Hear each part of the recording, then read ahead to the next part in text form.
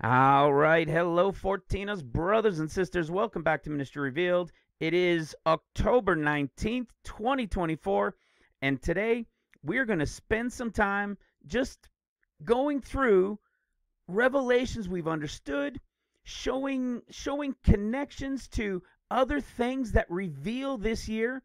I'm going to I'm going to show things that we have understood but even make it more clear to you with uh, an understanding of somebody's birthday um, and just spend some time in these things. One of the things that I'm going to get into, well, the first thing I'm going to share is just very briefly as we get going, is something in relation to uh, Arcturus again that we've been talking about recently, specifically with uh, booties or boothies that um, relates to herdsmen.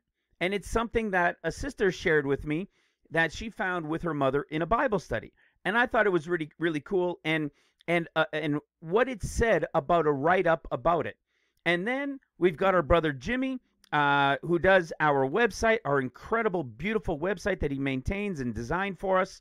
And he does all of our thumbnails as well. So you saw the the thumbnail for this one. He had actually had that one designed partly in advance because uh, I was going to use it for this one because you're going to see a theme that kind of gets into this in relation to the representation of the menorah, in relation to what it's designed with, something we talked about years ago, but I'm doing it in relation to something that our brother Jimmy shared in the forum, and we we've probably touched on it in the past, but you're going to see like in relation to this last teaching, this this big the, the, the connection that is revealed in Luke that goes from the beginning of creation revealed in the book of Genesis and right through to the end of days.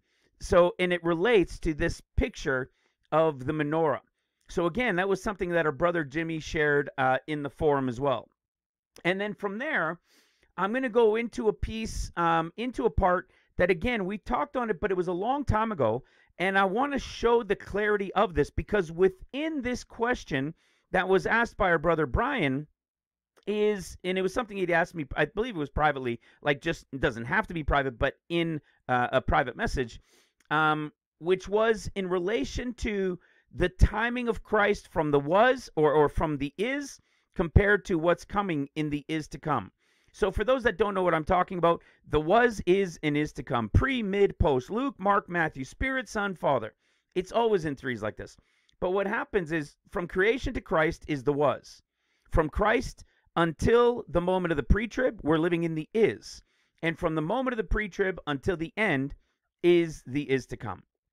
And so, um, this this question in relation to the is of what Christ did compared to the is to come of what's going to happen when Christ comes, um, I'm going to show this this clarity in it that will also give us another confirmation of this season and time. This not I shouldn't say necessarily the season time, but the year to show the the overarching counts of the years that shows that when this happens in the future in the later portion of tribulation, its connection is to the count as it was when Christ came the first time.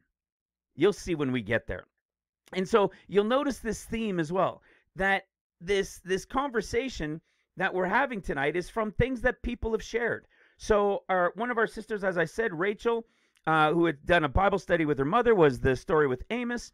We had Brian that had asked me this question, and who also shared this thing in the forum today, or last night maybe, about uh, somebody's birthday. And so I'm going to use that and show something that happened with him in the last 24 hours as well. And then, of course, something that our brother Jimmy had shared. And of course, there's one more, which is our brother Moses, who uh, who came across an awesome. I loved it because this is one of the the mysteries in Scripture that really shouldn't be a mystery. It's just the precision in reading. Okay. Now, this I've talked about it in the past, you know, and for me, um, it's hilarious it's always been one of the funniest things between my wife and I because me understanding a comma before the word and or no comma, I mean, it meant nothing to me. I mean, absolutely nothing. I, I'm not good enough in, in English, the language of my birth, to to pay attention to whatever it meant. It just was there or it wasn't there. And and what it meant and and what it means prophetically, what it means to understanding scripture is is night and day. Without the understanding, everybody thinks this piece this portion that we'll get into means just the same thing. And we can show that it doesn't. And that is connected to the question that Brian had asked me as well.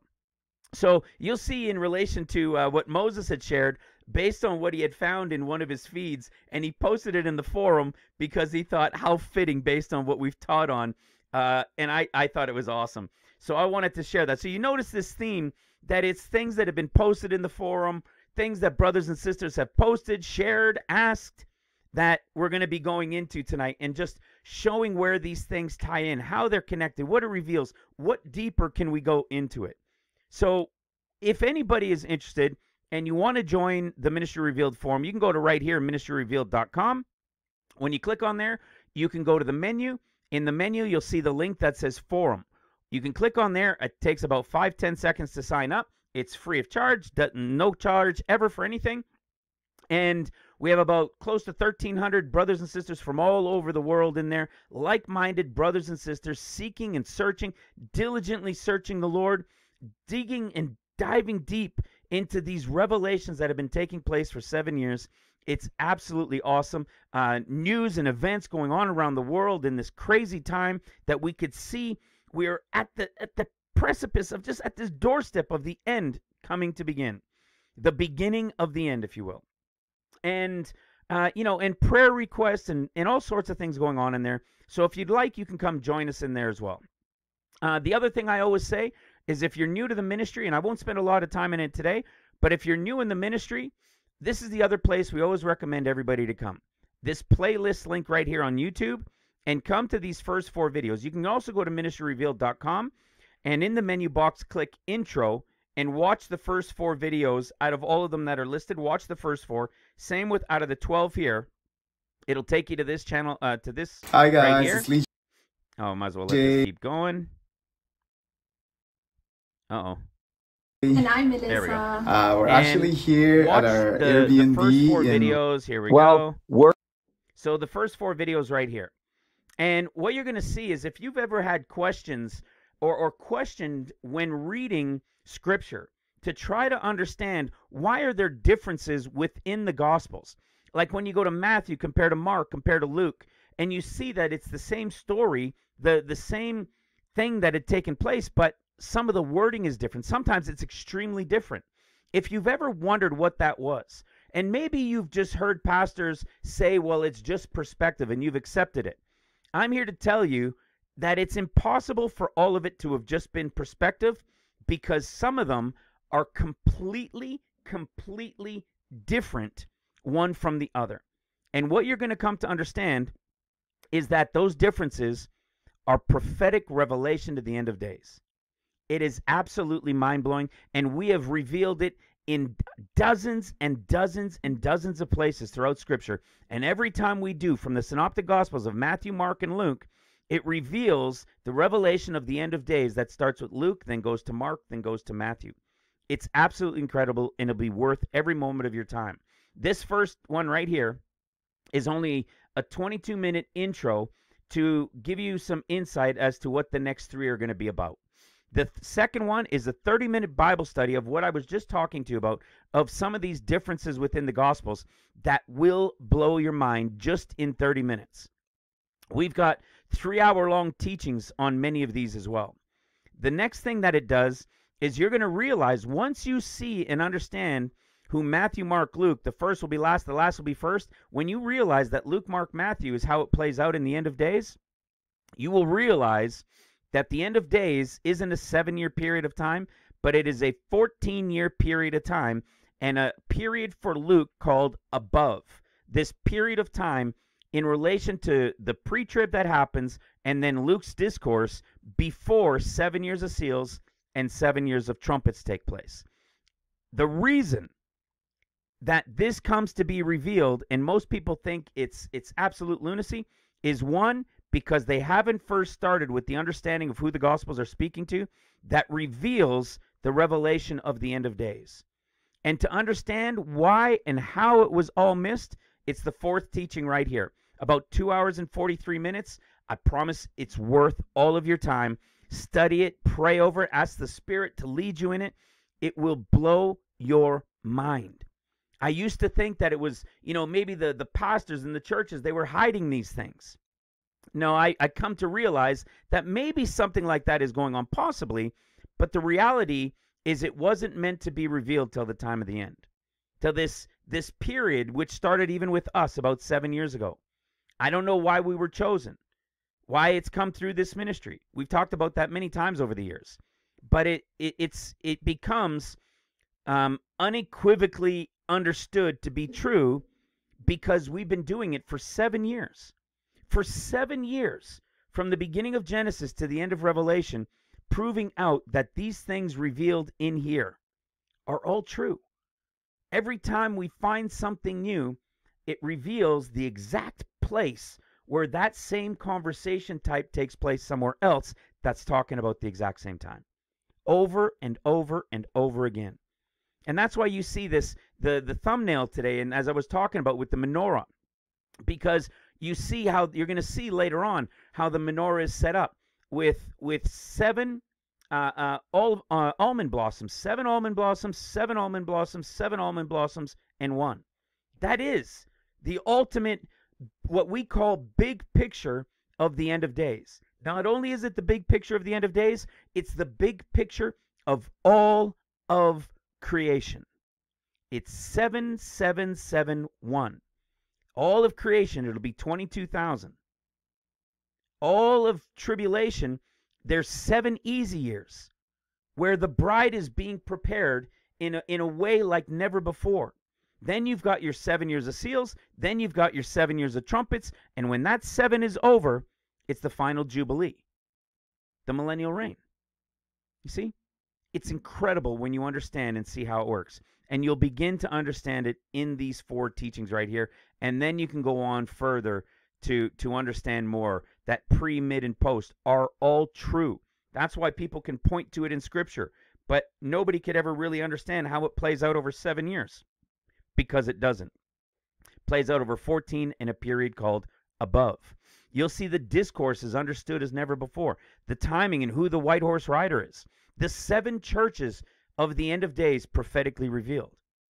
It's absolutely incredible. And then, as I was talking about a little bit earlier, this thing with the comma and see, we've got uh, a more. I think this is a more recent teaching. No, this is an older one that we did about the comma and, as I was mentioning to you earlier, that we will touch on here tonight in making a point about something about the Lord as well, and how it reveals the same year time frame, the same number, if you will, as it did 2,000 years ago. All right. So, with that. If you're new, come check those out. And if you've been around for a bit, excuse me. Well, let's get into it. As you know, my trusted coffee. All right. So, without spending a lot of time in this, because, you know, we've been doing this now since a little bit before August, right? Looking at this time of August, we've understood now what that difference was, which was continuing the count of that two months with a beginning in Taurus, but not from dark moon, but from the month beginning in full moon. We've talked about it quite a bit over the last couple months or so. And all of that has revealed this timing right here. This timing right here as the beginning of the end of days.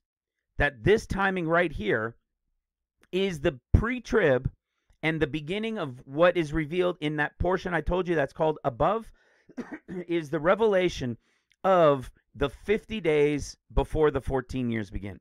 This right here is what we've been watching for now for the pre-trib bride of Christ. We understood that there was a period of time related to to a remnant group, but that it would be observed at the year's end. Well, we were looking at many things of the year's end throughout you know, from August to this point. And the reason, as I've said recently a lot, is the reason we've been so adamantly looking at these things is because of the understanding of the 70th year. I would not have continued to look past September, going into October, late October, in a belief that the pre trib could possibly be at hand if it wasn't for the revelation of the true understanding of the 70 year count.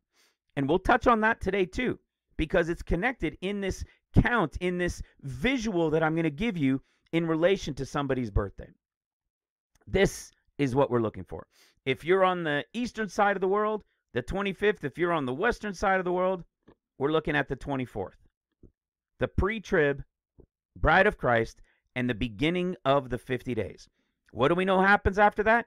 The Lord is coming as the Son of Man. October 31st to November 1st, again, in an evening to evening, if you will, as the eighth day from the escape, when the Lord is coming as the Son of Man. He is going to be rejected. You're gonna you're gonna you'll remember some of these things because this is something we're gonna get into when we talk about uh, what Jimmy was sharing sharing of what we know from Luke chapter 17. When we see here, and we'll talk about it more in detail and show where it reveals these things just in this conversation right here.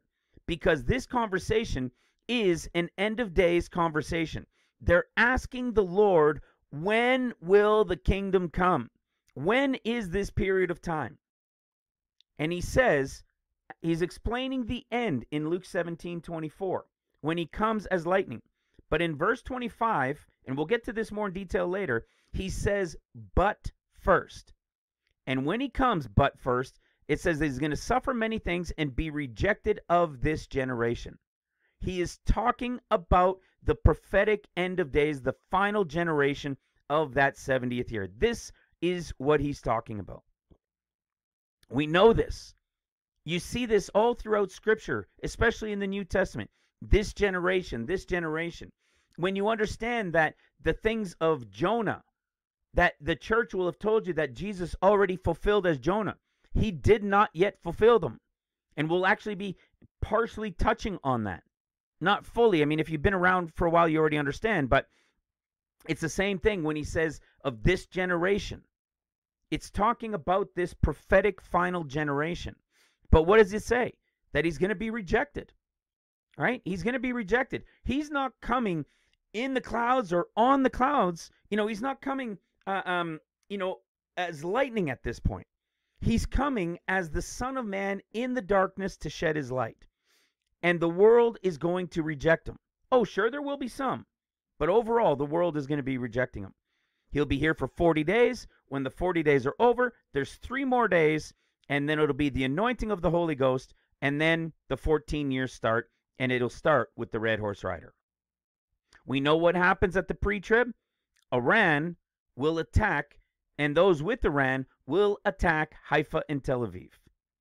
Then it'll settle after that. One week it'll last for a Middle East war until the Son of Man comes. Not because he's done anything specific, but it'll only last a week because they're going to try to de escalate after that major escalation, which I'm going to talk about another major escalation here later on, too.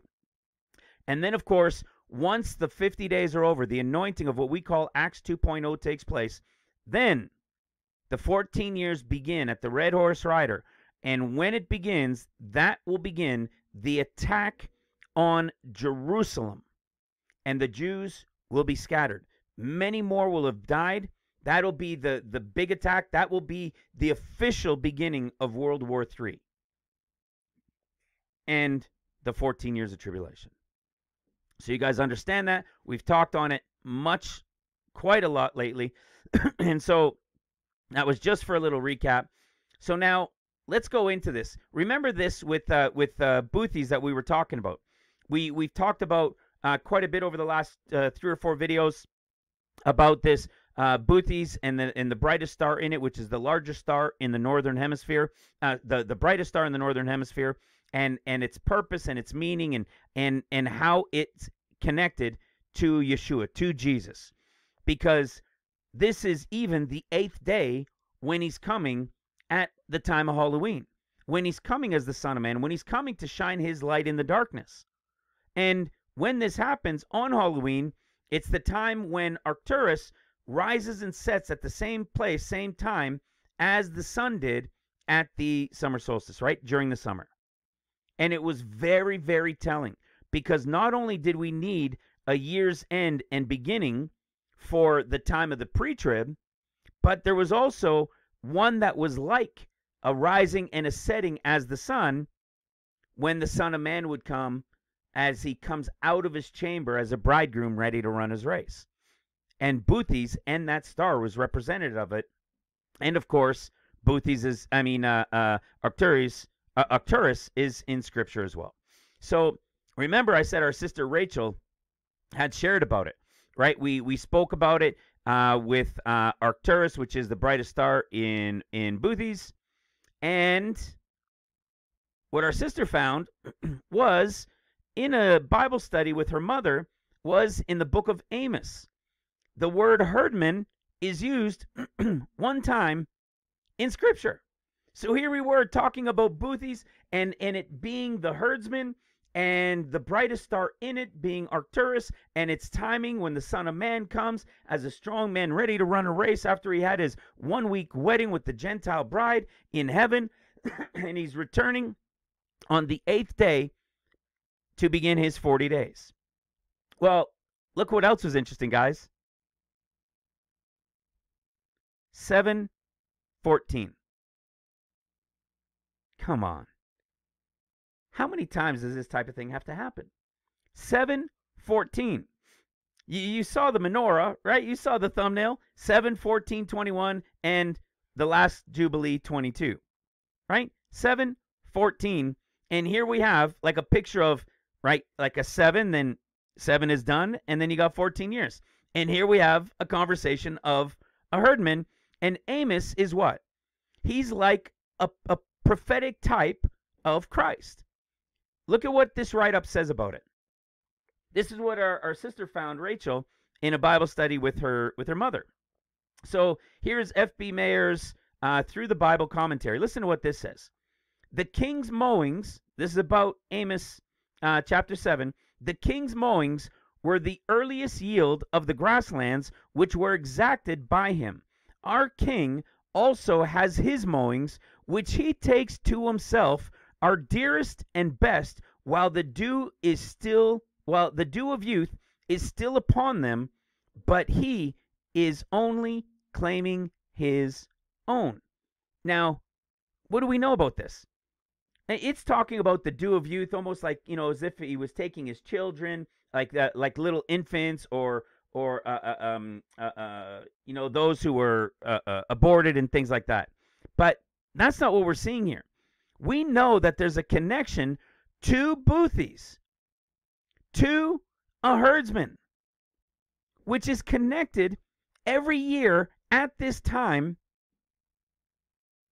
on October 31st. And when he comes on October 31st, after the seven day wedding, who's he coming to meet? Who's he coming to gather to himself here? It's not the pre trib, they're already gone. It's the remnant bride, the remnant workers, the Smyrna group, the, the Luke 24 group, that, that remnant group that will remain while the wedding is taking place and will be receiving the Lord when he comes as the Son of Man, for which he will have that meal after, the banquet meal after the wedding. This group that we talk about so much, that Smyrna group that will serve him during tribulation, and then for putting their necks on the line for, for all of these things and bringing in the great multitude, they will take part with him in his kingdom, sitting with him in his throne as he sits in his Father's throne with him. They will rule and reign with them as kings and priests during the millennial reign. These are the ones who will be in the first resurrection. and theirs is to rule and reign with him. Who is he coming to gather? Who is he who are these early mowings, if you will, that are being spoken about here? It's the ones he's claiming as his own. And this commentary, as you know, has nothing to do with me or sister Rachel. I don't know. Sorry if I said Kathy earlier. Uh, our, our sister Rachel who found it. It's a commentary that was written probably decades ago. And the commentary is exactly in line with the timing of when he's coming in Boothies as Arcturus and he's the herdsman coming.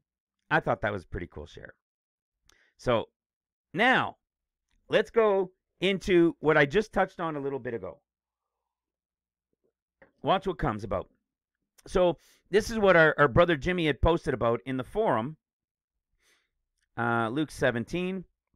Luke 17 is another one of our, you know, I, dare I say again, favorite places. You know, there's so many. I say it all the time. All of the word of the Lord is my favorite, right? He is the word. Jesus is the word of God. He spoke only what the Father gave him to speak. So everything that we have here is him, and it's from the Father. He is the word. So, of course, it's all exciting. And when you understand it more clearly, especially if you've been seeking to understand prophecy for a long time, these things will blow your mind once you understand them. But that's why I always tell everybody to start in that intro series, right? So look at what happens. We've shared on this many times, right? But just to prove out what we talked about in part of the last teaching in relation to going uh, the last one or second last one in relation to the Gospel of John to the first 21 chapters of Genesis. John John's 21 chapters and the 21 chapters of Genesis tied together. They play a prophetic picture in what we call chapters to years.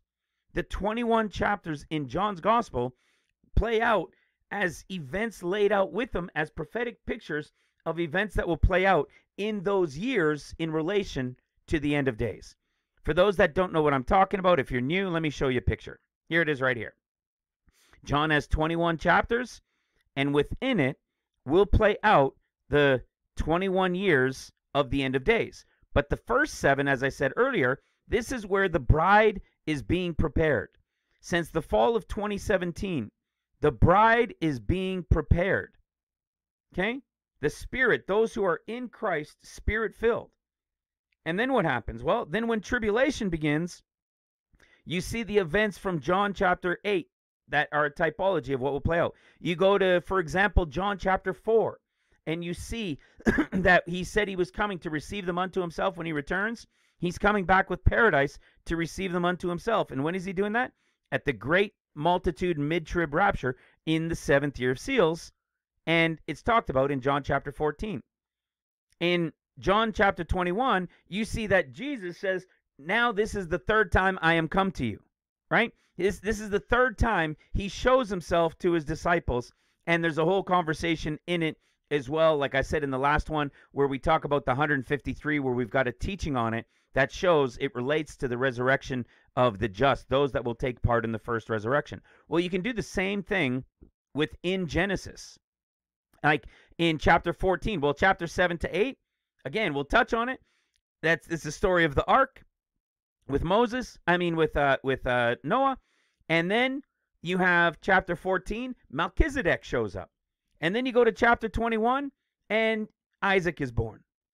It's all of this timing, because what's this timing of Isaac? The beginning of the 21st year, or in the end of days of seven years of seals and seven years of trumpets, it's the Lord returning feet down on the Mount of Olives in the 14th year, which in the big picture is, of course, the 21. So this is what our brother Jimmy was sharing. We know this is the end, right? He says in 27:14, "For as lightning lighteth out of one part out of heaven and shineth unto the other part of heaven, so shall the Son of Man be in his day."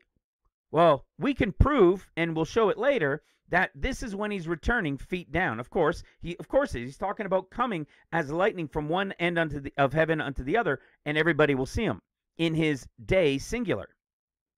But in verse 25, he says, "But first must he suffer many things and be rejected of this generation. And so when he's coming in this but first, what does he relate it to? He says, And as it was in the days of Noah, so shall it also be in the days of the Son of Man. Wasn't that interesting? This isn't the same conversation of Matthew's. Matthew chapter 24, days of Noah, is completely different than what Luke is talking about here and what Jesus is mentioning here. The one, as we know in Matthew, is the final 14th year of tribulation. This is talking about when he comes as the Son of Man for the 40 days, as we were talking about earlier. And what does he relate it to? He relates it to these days of Noah when he comes in his days, when he's going to be rejected first. He's talking about when he's coming for 40 days in relation to the 40 days of Noah. And how do you know? Listen to what it says. And they did eat, they drank, they married wives, and were given in marriage until the day that Noah entered the ark and the flood came and destroyed them all. So, what happens if we go into Genesis and we go to the first 21 chapters? We should be able to go from the chapter 7 and maybe even a little into chapter 8, but really because we're in the seventh year right now. We're in that seventh year. We're in that final period end time of that seventh year in the Shemitah cycle, which is also the true end of the 70th year coming up. And we're going to explain it and make it very visual for you guys. So, what do we see in Genesis chapter 7? Remember, if it's seven years and then 14 and then 21, and then 22nd is the Jubilee in the beginning of the millennial reign, then what do we see from what he said in Luke? Ah, they got in the ark, and the flood was 40 days. So we've got the story of when the floods came, they now were in the ark. They were marrying and given in marriage until the flood came and lifted up the ark, and here it is. So you have the story of Luke chapter 17 in the but first being revealed in Genesis chapter 7. And everything is what? 7, 14, 21, and then 22, the final Jubilee. So let's see what Luke says next. Let's see if there's anything else before we go back to the very end, which is lightning from one end unto the other. Then he says in verse 28 of Luke 17, likewise also, as it was in the days of Lot, they did eat, they drank, they bought, they sold, they planted and built. But the, the same day that Lot went out of Sodom, it rained down fire and brimstone.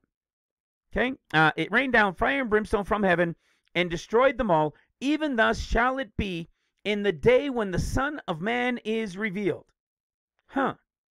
Likewise also, as it was in the days of Lot. So we had him saying, but first, the first portion I'm coming has a relation to it when I'm going to be rejected as Noah's, and it relates to the 40 days. And in Genesis 7, boom, 40 days relates to Noah when the flood starts. What's the next one? It's talking about Lot. They bought and sold, and it's talking about Lot. Let's go to Genesis and let's see if we go to chapter 14 and see if we go to chapter 14 and see anything about Lot. Oh, Abraham rescues Lot. Funny how that worked, right? Funny how that worked. Genesis 14 12. And they took Lot, Abraham's brother's son, uh, who dwelt in Sodom, and his goods, and departed. We go a little bit further, and we find out that Abraham had these trained servants in Genesis 14 14. And when Abraham heard that his brother was taken captive, he armed his trained servants, born in his own house, 318, uh, and pursued them unto Dan. What did he have? Trained servants. So, what are we talking about? We're talking about, see, 14 in the big picture or the seventh year of seals. We go right across to Genesis. There we are. So we found seven. Now we're in 14. We know that the Lord is coming on heavenly Mount Zion. And look what happens. Look what happens to see if there's a group of trained servants that, like Abraham, are suddenly going to be brought up. Watch this. If we go to Revelation chapter uh, uh, Revelation chapter six, what do we see?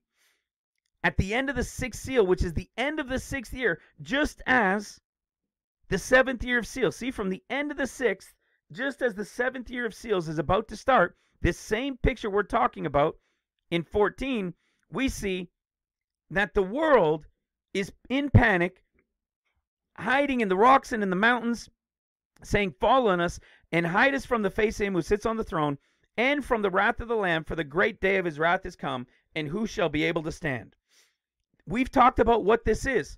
This is the Lord coming with heavenly Mount Zion. He's coming with paradise as John chapter 14, the place prepared that he said he would go and prepare a place, and when he returns, he will receive them unto himself. This is going to be a wild sight, man. We've talked about it recently, and it gets it gets heavy, it gets deep, and it gets wild as to what it is that they're seeing coming. What if we go to Revelation 7, which equals right here the seventh year of seals or the 14 in the big picture to connect what we're talking about in Genesis. So not only is it Lot's time, so those like Lot, there's the rescue, right? Lot is rescued by Abraham, and here's the seventh year of seals, the time of the great multitude rapture. But is Lot rescued quite yet? No, Lot had been taken, right? Just like during seals. When the church, those who come to Christ, those who are going to be taken, some will be killed, right? Some will make it. And in that 14 big picture or seventh year of seals, we see that Abraham is going to have a group trained up. So, what if we go to chapter 7 of Revelation and look who shows up? A group trained up? A group trained up who are sealed by the Lord that were before the throne? Revelation chapter 7 literally has the same typology picture as the time of Genesis chapter 14 when Abraham is going to go to rescue them with a group of trained servants. Chapter 7, check. Chapter 14, check. 7 easy, 7 of seals, and then there's 7 of trumpets, right? And so here's again, here's the story of Lot. We see in Genesis 14, 16, and he brought back all the goods and also brought again his brother Lot and his goods and the women also and the people. And look who's here Melchizedek, high priest and king. Jesus is now on the scene. You see how crazy that is? Here is Melchizedek. When Melchizedek is here, what do we know from Psalms 110? When Melchizedek shows up, at this exact same timing of the seventh year of seals, he's going to sit on the right hand of the Father, and it says he's going to rule out of Zion he's, and rule in the midst of his enemies. Right? We, we've shared on this recently. He is now going to be high priest and king. Well, what did what did Luke chapter 17 say? At this at this timing of Lot and this coming in of Lot and this rescue of Lot, which represents the church, those who were asleep. What does it say? In verse 30 of Luke 17, it says, Even thus shall it be in the day when the Son of Man is revealed. You mean when everybody's screaming and looking up, terrified to see what's coming? You want to see another another insight into it? In Luke 17, 29, it says, uh, uh, actually in uh, 1728, about Lot's time, it says they bought, see that? G59 and sold. G4453. So 59 and 4453. If we go to Revelation chapter 13, which is when the beast comes into power, which is at mid seals, approximately about two and a half years into the 14 years, when he receives his 42 months to continue, which is to the end of the sixth year of seals, when this three and a half year period, that 42 months takes place in that second portion of the first seven years, when he has to be worshiped, what are they going to have to do? Remember what it says? Where is it? Where is it? Where is it? It says right here. So in verse 16, Revelation 13, 16, and he causeth all both small and great, rich and poor, free and bond, to receive a mark in their right hand or in, which by the way means on, just so you know, means on. Maybe it's going to be in, but the definition of the word means on. Uh, on their foreheads or on their right hand, and that no man might buy G59 or sell G4453. See that? Save he that has the mark or the name of the beast or the number of his name.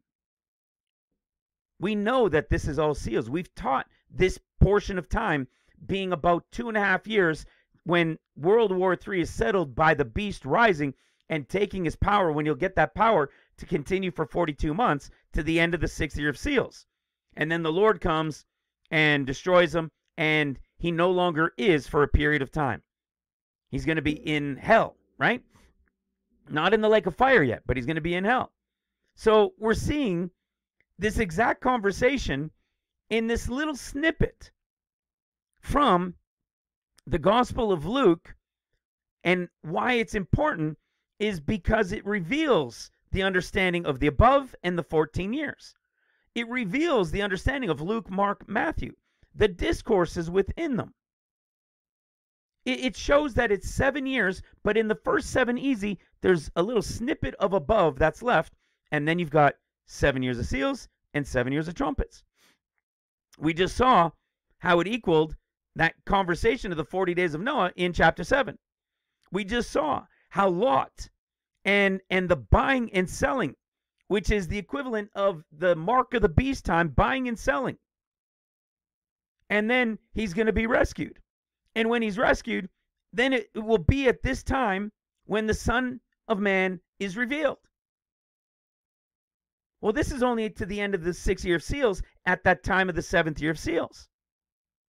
And this brought us, right as we saw, into the seventh year of tribulation or the seventh year of seals, and in the big picture, Genesis chapter 14. Well, what does it say next? Well, if we go back to where it starts, which is verse 24, he said, For as lightning that lighteth out of one part under heaven and shineth unto the other part of heaven, so shall it also be, so shall also the Son of Man be in his day. So he's telling you what? The end at the beginning. He then tells you what the beginning will be first. So, which means if this is when he comes after the pre, when he comes for his 40 days as Noah's, and then he's gone after those 40 days, having been rejected, and then he's coming again at, at the same typology of Lot, at Lot's rescue, when a group is trained up to go in and get them, which is the 144,000 who are going to help the Smyrna remnant group who were with the Lord for 40 days and then served him during seals. They're going to need help, which is the 144,000 that will help rescue the Lot type, which is the church, and the greatest revival in human history that will have happened in the midst of the worst time to this point in human history. To the point where then comes the Son of Man at the end of the sixth to start the seventh. See how that works? It's right there. Not only is it here in Luke 17, but it's revealed in order of 7, 14, and oh, what about 21? Doesn't the Lord return? Is there something of the Lord coming at the beginning of the seventh year of trumpet judgments or at the end of 13 to begin the 14th year of tribulation? Right? Well, let's go have a look. We see that Genesis chapter 21. What is he saying? He says that it's going to be as lightning from one end unto the other. Okay. So it's a picture of the coming of the Son of Man, the coming of our Lord and Savior returning to the earth when now the whole world will see him as lightning. and what happens if we go to Genesis chapter 21? The birth of Isaac. The birth of Isaac, the literal prophetic picture of Christ showing up on the scene, is the prophetic picture from Genesis 21 the what? The promise. The promise. Hello. Wasn't a wasn't Isaac the promise that God gave Abraham? And where does he show up? In chapter 21.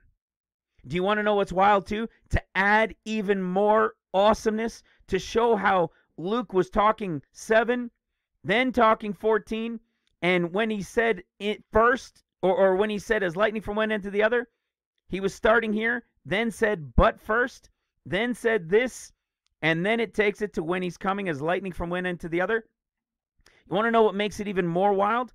Is that even though this is the revelation of the big picture of 21 and then the Jubilee will be the 22nd year, the real story of the end of days is the period called above and then seven years of seals and seven years of trumpets. You know, people wouldn't say that this has been tribulation that we're in. Okay? It's not the tribulation as the first seven easy years. It's not the tribulation as we would classify tribulation. Okay? It definitely isn't. Because it's been the time of waking up the bride, of preparing those in Christ spirit filled. You see, what are these final three sevens? It's the there's one, two, three, four, five, six, seven. Seven times seven, right? For a Jubilee count. And when the seven times seven is over, that's the end of 49 years. Then you have the Jubilee. The reason we don't talk about these is because that's just that's just life. It's it's been life and it's been like that for almost 2000 years. It's the final 3, but the first of the 3 is less quote unquote noticeably impactful if you will. And then the last two sevens are the crazy times of seals and trumpets. So when we say 15th year is the jubilee, it's because of the 7 of seals, 7 of trumpets and then 15th year is the jubilee. When we say 22 years is the Jubilee, it's because we've included it from the easy seven years, from when everything is getting prepared, and it equals the 22nd year as the Jubilee. But the big picture, the overall reality of counting it is that it was seven times seven Shemitas, right? Seven years. And that would be 49, and this would be the 50th year. Okay? And that's what it equals. But now watch this. Where where Isaac shows up and he's now on the scene is directly related to the timing that we're talking about of when Christ comes as lightning from one end unto the other.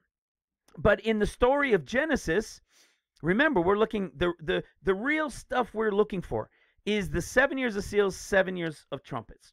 Okay? There's 7 years of seals, 7 years of trumpets, but to the end of the 13th year, It'll be 13 years of tribulation, and then there's one more. But this final 14th year, excuse me, begins with the Son of Man himself here, having come as lightning from one end unto the other. He's going to deal with all of the enemies against his people and against Jerusalem in that final 14th year, which, as we've taught on in the past, is the Matthew 24 days of Noah. It doesn't relate to the 40 day picture up here like Luke 17. It relates in Matthew 24 days of Noah to the final 14th year, the entirety of the final 14th year. so, why is that important? Because of the storyline. sorry, sorry. But because of the storyline in Genesis chapter 21 is directly related to the storyline of 13 years and then the 14th year. Let me show you. Genesis chapter 16, Abraham has a child with Hagar, and his name is Ishmael. Okay? The the Muslim side or the Arabs. He's a wild man, right? He's against his neighbors. Hello. There's a reason this has been going on forever with them. And how old was Abraham when he had Ishmael? He was 86 years old. Go to chapter 17. Now, Abraham is 99 years old, and God makes a covenant between him and his family. And what we find out is that not only is Abraham 99, but Ishmael is 13 years old. So what do we have? From 86, Ishmael is born, to the end of 13 years, God makes a covenant. When Ishmael is 13 and Abraham is now 99. And then what happens? Well, then you follow the story into chapter 21 and you see that Isaac is born. And when Isaac is born, how old is Abraham? 100 years old.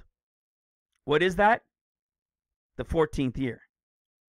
You see how wild that is? You see how impossible it is for anybody to to connect these things without the importance of the revelation of who the gospels are speaking to that reveal the true end of days.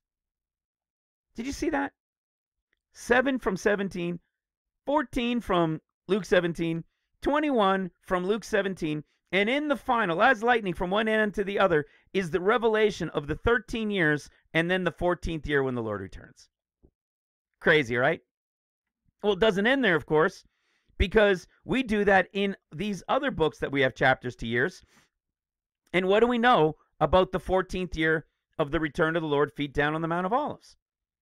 Oh, wait a second. In Zechariah's 14 chapters, here is chapter 14 when the Lord returns feet down on the Mount of Olives. When he returns feet down on the Mount of Olives, obviously we know that that's the 14th year, right? We know it's the 14th year. He's starting the 14th year.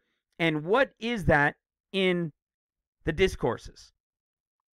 Well, it brings us to Matthew's discourse. Luke's discourse is the above, Mark's discourse is the seven of seals, and Matthew's discourse is the seven of trumpets. So let's see if we can connect what Luke was telling us in chapter 17 about what it would be like when he returns feet down as lightning from one end unto the other to start that final 14th year. Well, do you think it's there? Matthew 24, 27. For as the lightning cometh out of the east and shineth unto the west, so shall also the coming of the Son of Man be. Immediately after the tribulation those days. Here's this is the picture of the Lord coming at the end at that or the start of that 14th year as Zechariah 14 when he as Luke 17 when he said this is what it'll be like at his coming. But then he said but first this is now at his coming to begin that final 14th year or the seventh year of trumpets. And what is that final year? It's at his coming. And what are we told the day and hour no one knows, and that it would be as it was in the days of Noah. Luke's discourse doesn't talk about it. Mark's discourse doesn't talk about it. Only Matthew's discourse talks about it.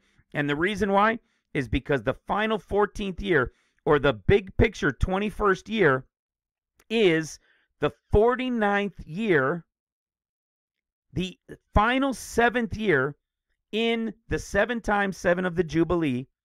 And that final year is one year and 10 days long, the exact amount of time that the days of Noah were. The 40 days start on the second month, 17th day in history, right? In the was. And when it's over, it's over on the second month, 27th day in chapter 8. Isn't that wild? Because only in a 49th year in a Jubilee count of seven times seven, only in a 49th year is that year one year and 10 days long because on the 10th day, the Day of Atonement, is when they sound the shofar of the Jubilee. Just awesomeness. Absolutely all there for us in what? Uh, six verses, seven verses. Isn't that wild? It's the kind of stuff that just puts you in awe. It just has you like, what? What? Watch this. In fact, let me let me finish that thought in relation to what I was saying about the story of the ark. Look what happens, okay? A jubilee year is the seven times seven years for 49 years. And then it says, Then shall thou cause the trumpet of the jubilee to sound on the tenth day of the seventh month. The tenth day. Well, the end of days, we're not talking about the house of Israel that goes from spring to spring. We're talking about the house of Judah that goes from fall to fall. Right? From the fall times to the fall times. And so 10 days from fall to fall is trumpets to trumpets, feast of trumpets to feast of trumpets, and 10 days later is atonement. It's the story of the final year as it was in the days of Noah. And it's the shofar that gets blown for that final jubilee. Now, look what happens when we look at the menorah. Just like the picture. These are the almond blossoms on the menorah. You have one, okay, 2, 3, 4, 5, 6, 7, 8, 9, 10, 11, 12, 13, 14, 15, 16, 17, 18, 19, 20, 21, 22. Uh, sorry, 21. And then 22 stands on its own. It is the revelation of the end of days. Seven easy years, seven years of seals, seven years of trumpets, and the final jubilee in the menorah revealed in the Gospels, in the mystery of the Gospels. Right there before our eyes. Another incredible mystery, just mind blowing how these things, it, I can't even explain how most of these things came about. It's just the Spirit leading. You know, we've said that a lot, a lot over the years. Nothing here has been dreams or visions or anything like that. There hasn't been any audibles, nothing. With the exception of one confirmation, as you guys know from the Holy Ghost, that was about uh, being right on target that revealed Taurus. And we know what that importance has been. That we've talked about it quite a bit lately. But everything else has been diligently studying the word, and then all of a sudden, things just connecting, things clicking, and, and they're understood. I've talked about it a lot over the years. Uh, you know, like I said, when it comes as the thing we're going to talk about later with the comma and the word and, compared to not having a comma and not having the word and, you just, it, it, it, it, I, I've never understood that. I'm not some English major to to know and to understand these things. I never comprehended it. It made no difference to me. But something happened as I started reading a little over seven years ago, and poof, these things just opened. I would read the scriptures and I knew where they connected. It was the craziest thing. Many of you who've been around for a while know the story. I can't explain it. I was freaking out. I was in tears sometimes twice, three times a week in the first year or so because I, I, I couldn't understand it. It was freaking me out. And one of the things in relation to this, another one is like going to Luke in chapter 1, 2, 3, 4, as we've explained. What do we know about Luke 1, 2, 3, 4? We have a teaching called Luke in order. It's mind bending. You see prophetic mysteries revealed within the four chapters that reveal a portion related to a pre trib group and a remnant like John the Baptist. And at the end of those, his birth and the connection to the circumcision, the eighth day, then you go into Luke chapter 2, and you have the 40 days of the Son of Man connected to his birth, which is a picture of what we were just talking about when Jesus comes for 40 days as the white horse rider in that portion called above that we were just talking about for Luke 17 as it was in the days of Noah or or uh, as the days of Noah.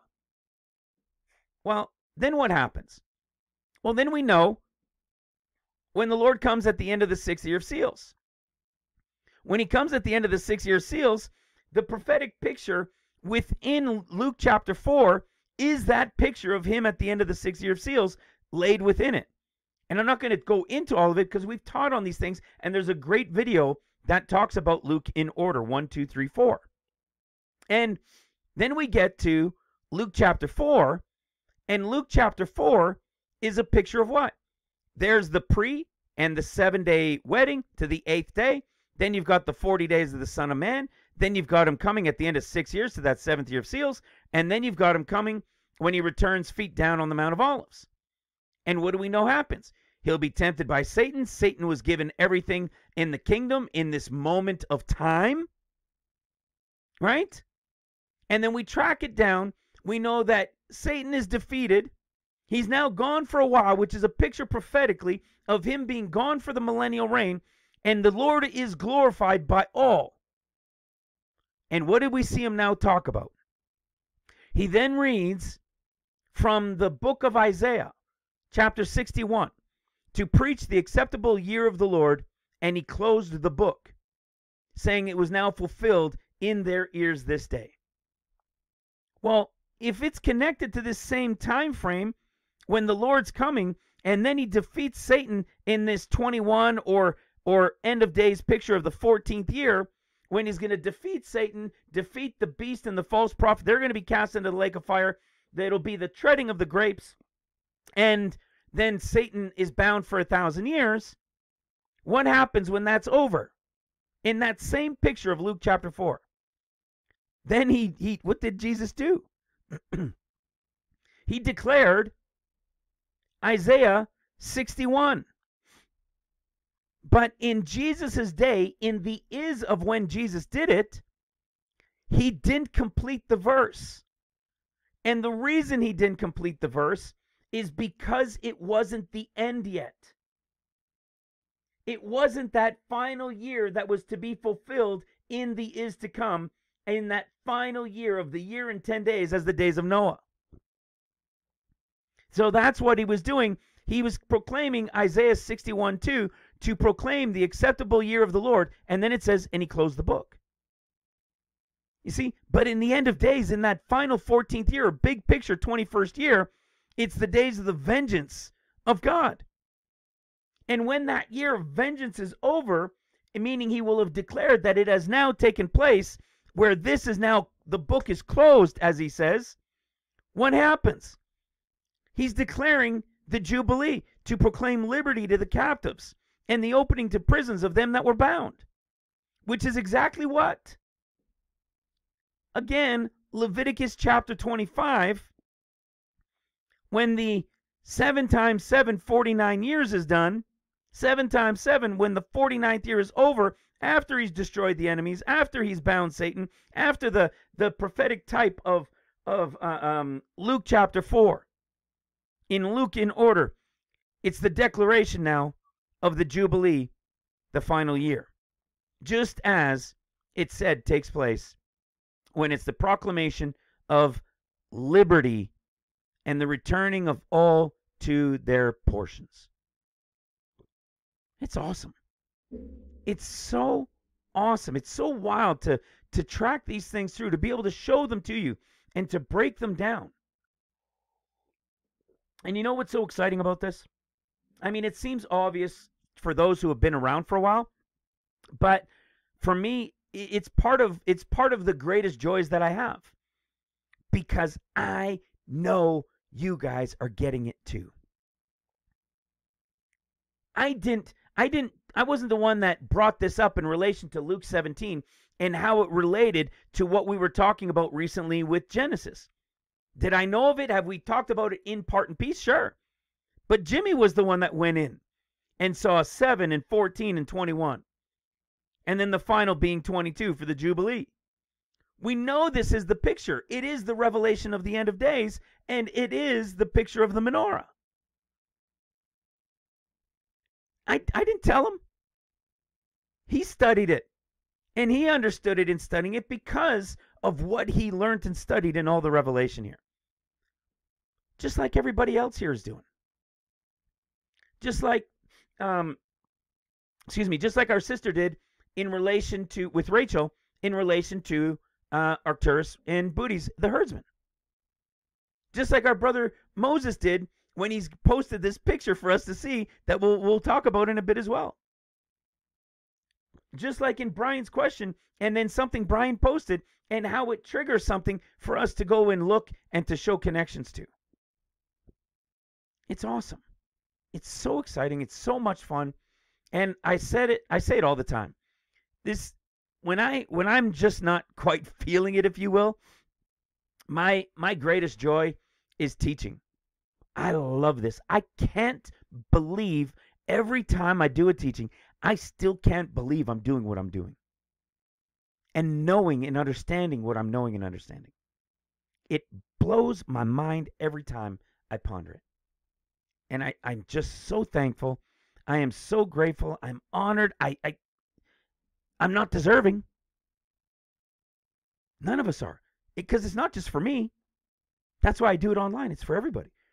I can't lead a single one of you. The Spirit has to lead you. Hello. It's so exciting, right? Well, now, remember, we were talking about this from all the way back with the story here beginning in Luke chapter 17. Well, now, when I showed you this, I showed you how Luke 17 showed us in relation to it starting like the 40 days related to the Son of Man. And in relation to Jimmy Share, how it went 7, 14, 21, and then we know the Jubilee is the 22nd. The 22nd year overall. And from that, we shared that in this final 21st, 49th year, or 14th year, that it's when the Lord returns, feet down on the Mount of Olives, and that final year is the year as Noah's, again, going back to the story of Noah, but relates to the final year as one year and 10 days. Well, do you know there's still another story within the story of of uh, uh, of the ark and the story of Noah? So not only was it the 40 day picture that starts it all, not only was it the final 14th year picture of one year and 10 days, and then the Jubilee announcement, within the story of Noah is the revelation of everything I'm telling you right now. What we call the big picture. Look at what it has. In verse 4, Genesis 7, for yet seven days. And then in verse 10, and it came to pass after seven days. So this yet seven days and after seven days, they're the same seven days. Okay? So you've got one set of seven days. Okay? And then we'll go to chapter 8. So what are these seven days tracking as? They're like a picture of these first seven easy years. Okay? And then within this very end, you've got this 50 day commentary. and when it's over, what do we have? Seven more, which relates to seals, and seven more, which relates to trumpets. So you've got seven years, seven years, and seven years. And then, of course, the final 22nd. Well, in Noah's story, they're not years, right? That first seven for yet seven and after seven, those are days, right? And that represents the first seven. Some people might say, well, wait, those are days. You're talking about years. Well, for those that haven't understood this before, this is what prophecy tells us. The day year principle or year for a day principle is a method of interpreting Bible prophecy in which the word day in prophecy is considered to be symbolic of a year of actual time. Did I write this? No. This was known and around before I was born. I didn't make it up. Yet, we can show you the picture of 777 as days being years for the end of days.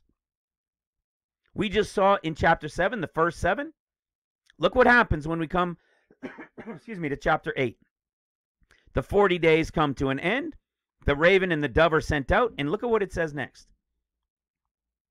Genesis uh, 8, verse 10, and in verse 12. it said, And he stayed yet, so this is the dove, and he stayed yet seven other days. So what do we have? Well, chapter 7 said, Yet seven, and then after those seven. And then chapter 8, I think it was verse 10, said, Then he stayed yet seven more days. Days as what? Prophetically we're talking prophetic. Prophetically as years. Days as years. And then what does it say? In that seventh year, relating to those first seven days as years. It said, Then the dove came in at evening, and lo, in her mouth, when because the, the dove had gone out again, right? she comes in with an olive branch or an olive leaf plucked off. What's the word for plucked? You guys know that the word plucked is the Greek word harpazo, which is rapture, and the great multitude rapture happens in the seventh year of seals. Look at all of what? People say, oh, it says leaf. No, it also means branch. Hello. But then it gets better because just as we saw, there's that seven where the rapture takes place. We saw he's coming on Mount Zion with paradise. We see that he's gathering him in John to the place that he had prepared to receive them unto himself, that where he is. And we see that it's exactly the one connected to the great multitude rapture in the seventh year of seals, which is when the high priest and king Melchizedek comes, and Abraham is the one with his trained group that goes out to fight to rescue them, which is the 144 from Revelation 7 that then rescues, helps rescue with the first worker group, the great multitude rapture. It's in the story of the ark. Isn't that crazy? But then there's still one more seven, though, isn't there? We still got one more seven to go. Oh, there is one more seven. Genesis 8, verse 12. And he stayed yet seven other days and sent forth the dove, which did not return unto him anymore. Why would the dove not return anymore? Because everything is over. The Lord is on the earth. The Spirit is roaming and free. It's the it's the final seventh year. Days as years. And you want to know what's crazy? This was such an awesome find. I can't remember if, if, if I had discovered or if somebody else said it was years ago that somebody may have pointed it out. I don't recall. But watch this. When the first seven years or days in the story of the ark take place, or at the end of it, just in relation to the context of it, does it tell us anything about, you know, maybe tribulation or, you know, this is when the craziness begins? No. It just says, For yet seven days I will cause it to rain on the earth 40 days and 40 nights. It's interesting, right? Because we've shared on this in the past that this seven days can be days as the seven day wedding, right? And then when the seven day wedding is over, those seven days have come to pass, then the 40 days of Noah start. That's exactly the prophetic talk that we've been showing showing of the end of days, right? That the first seven days is the wedding, and the Lord returns on the eighth day, which is a picture, like he said in Luke, when he comes, it would be as it was for the 40 days of Noah. Isn't that wild? But what you don't see is any specific wording that talks tribulation wise. So when these first seven are over, and then we get to the next seven starting, look at what it says about them in the story of the ark. This is why when you have a program like this called eSword, you'll notice that these are all the Strong's Concordance. So you could really dig into the words, find their meanings, right? Noah's name means rest, quiet. Well, if you were just reading from your Bible your whole life, you would always just you're you're kind of still in milk.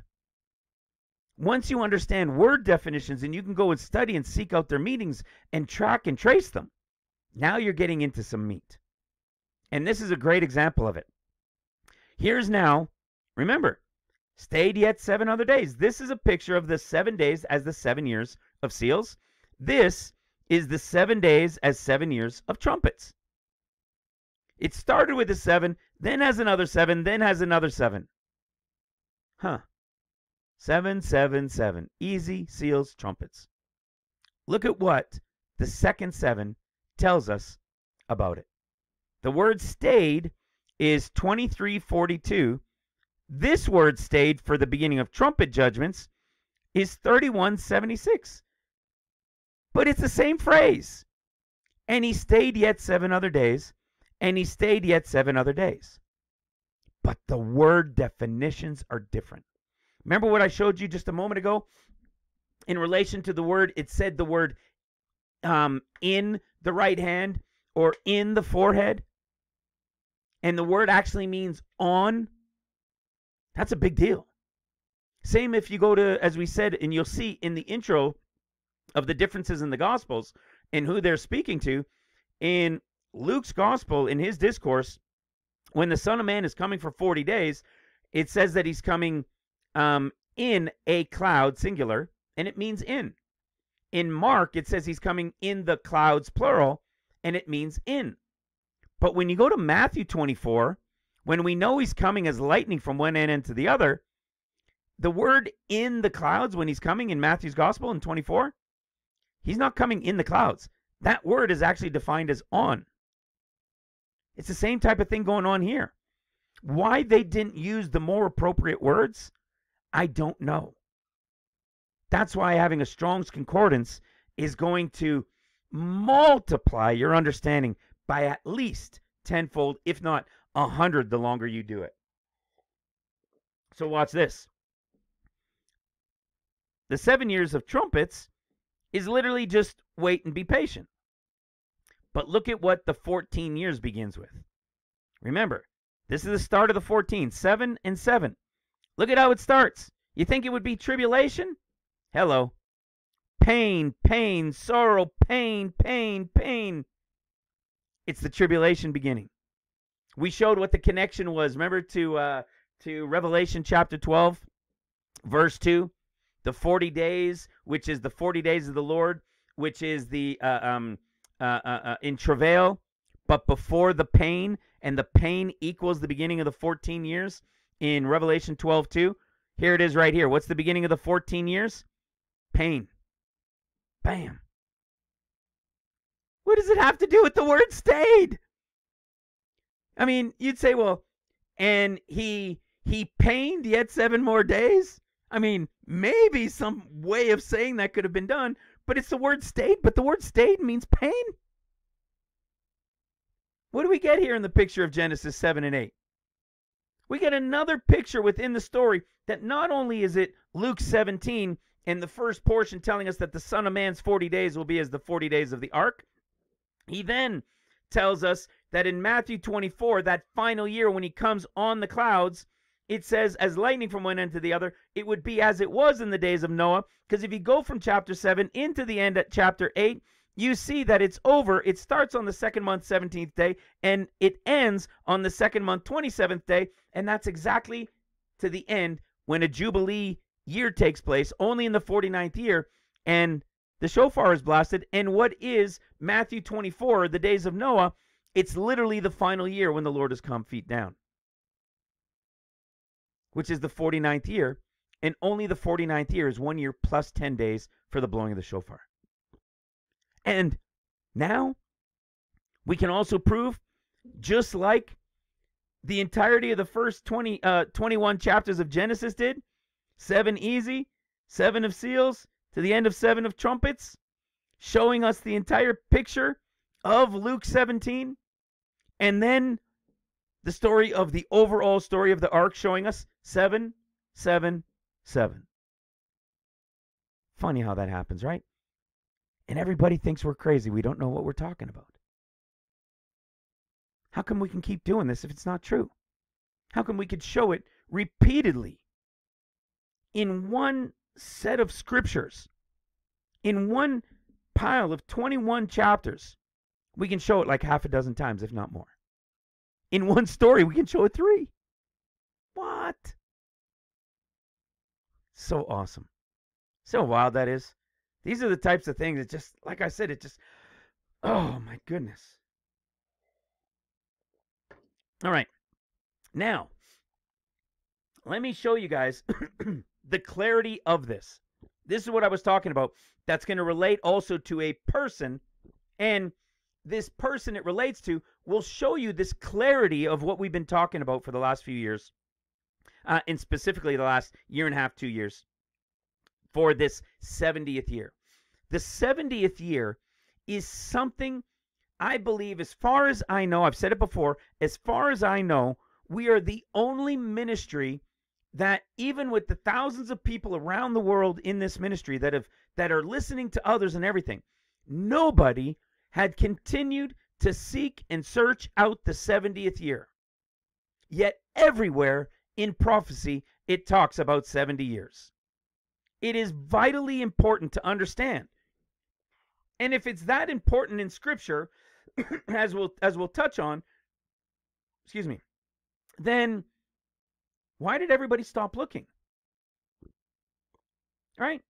The reason everybody stopped looking is because in May of 1948, on May 14th of 1948, Israel became a nation. And what happened was until 2017, 20 or I guess 2018, everybody was talking about in that final year from the Revelation 12 sign in 2017 even until about that time in 2018 everybody including us was talking about the 70 years of Israel. And they were talking about it with a whole bunch of different places in scripture because everywhere it tells us about 70 years. And it came and went. And everybody stopped talking about it. We diligently, diligently pulling out our hair trying to figure out where it was. And the answer to where is it? One, it has to be in scripture.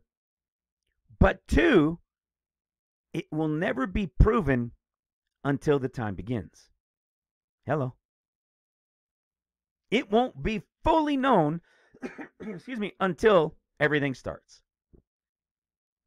But everything should be in the Word of God. Everything should be given to us in Scripture. The only thing is, how do we discern it? How do we understand it? Where do we look? If they came in on May 14th, 1948, my wife wasn't born in 1948, but pretty wild that my wife's birthday, of all dates, my wife's birthday is May 14th. Pretty wild, right? For me, of all people, that's I thought that was pretty interesting. But they came in in 1948. Obviously, 70 years came to an end. And in May of 49, uh, uh, sorry, of uh, 2018, and nothing happened. And we continued. We diligently sought. We we found a connection to uh, uh, I think it was Luke chapter 13, but it wasn't quite there. But there was an association with it, and a, one of our brothers, Samuel, found uh, Leviticus 19. We were still green in some of the the the Old Testament beginning in the law. And now that's no longer the case, but back then, and he had discovered that Leviticus 19 gave us another this mysterious kind of insight. And, you know, I probably jumped the gun obviously in in understanding it because I was eager like many. Could you imagine if I if this had been understood to us years in advance, could you imagine what would have happened if, let's say, for example, we knew three years ago that it wasn't going to be until about sometime in the fall of 2024? Could you imagine what we'd be doing right now? Would you have considered would you have continued to diligently seek and search out the Lord in these mysteries with me? Would I have continued as diligently as I have week after week after week after week nonstop? I, I don't know if I would have. You know, in our in our hum, in our humanness, in our fleshly ways, we might have just said, "Well, heck, if we know it's not till about the fall of 2024, well, then I'll come back in summer of 2024." You see? That's because the purpose, as I say all the time, is not about the when. The when it will happen is the cherry on top. We have diligently sought it as we have diligently sought the scriptures, but the story is the revelation of Christ himself in his revelation. Like I said at the beginning, this is the revelation of Jesus Christ. He is the Word. Every word he spoke, every word from him is from the Father. And we've been given the understanding of that revelation to the extent that we've been given. It's way more about the when. Right? I mean, it's yeah, it's it's way more than about what the when is when. About when the when is. But like I said, it's the cherry on top. And when you understand what we understand, that it's connected to everything starting at the end of 70 years, and we can show and count and calculate and prove that this is the end of 70 years coming up this fall, sometime in this range, in the fall of 2024. This is why we've continu- continued to seek it out. But as you can see, it's not all we're doing. Even look at the last teaching, man. It was awesome. We now understand the, the story in First Thessalonians chapter 4. Revealed, understood. And look what we just went through in this first portion. It's awesome. But now, what about this 70th? Even though I know you guys know it, I know you understand it. I'm going to give you a, a much more clear visual, if you will. They came into the land in May of 1948. Scripture tells us in Leviticus 19:23, "And when you shall come into the land, excuse me, May 1948, and shall have planted all manner of trees." Well, when they came in in 1948, they didn't plant all manner of trees. They didn't plant all manner of trees until February 14th, 1949 at the new year of trees. So they didn't plant all these trees until the following February. So they came into the land, but it also says, comma, and, meaning a separate thing, but in addition to, shall have planted all manner of trees for food, then shall thou count the fruit thereof uncircumcised. Meaning the land is not yet yours to take from. He's telling them, excuse me, it's not theirs yet. You're in the land. Now you've planted the trees, but it's not yet yours. But then he says, three years shall it be uncircumcised. Okay? That means not not for them, not theirs. Okay? Uncircumcised. They are the circumcised. So it's not theirs yet. So three years it shall be uncircumcised unto you. Um, it shall not be eaten of. Okay? Now, when we see when they came into the land in 1948, is that where the count begins? No, because it says they also need to have planted all trees. Excuse me. They didn't plant all trees in that symbolic literal date until February 14th of 1949. Excuse me. But what do we know about those people, the people living in Israel? They are not the house of Israel. They are the house of Judah. This is why, you know, there's so many debates and it drives me crazy now. You know, once you understand something, it, it, you you still keep hearing it. It tends to drive you crazy. You just want to share it. but unfortunately, so few people listen. Because it's not a replacement theology. There's the house of Israel and there's the house of Judah. The church is the house of Israel. It's it's the world and and the church, the Gentiles grafted in with the house of Israel. The house of Judah are the Jews and they're the ones in the land. Remember, Abraham, the Lord told Abraham, your your descendants will be as numerous as the stars, right? As the sand of the sea. Well, there's only what? 14, 15 million Jews on the earth. That's not that's not sand of the sea. You see? Because it's talking about the house of Israel in that case. And that's connected to the great multitude rapture in the seventh year of seals. but when they came into the land. Who came into the land? Judah. The house of Judah came into the land because nobody knows who the house of Israel is anymore because they're scattered everywhere. So, this is a conversation here to when Judah, the house of Judah, came back into the land. They came into the land 1948, planted in February of 1949, but they are not the house of Israel. They're the house of Judah. And you guys know about this. We've shared on this, right? the number of the kings, the way the kings are to be counted, which threw everybody's counts off for centuries.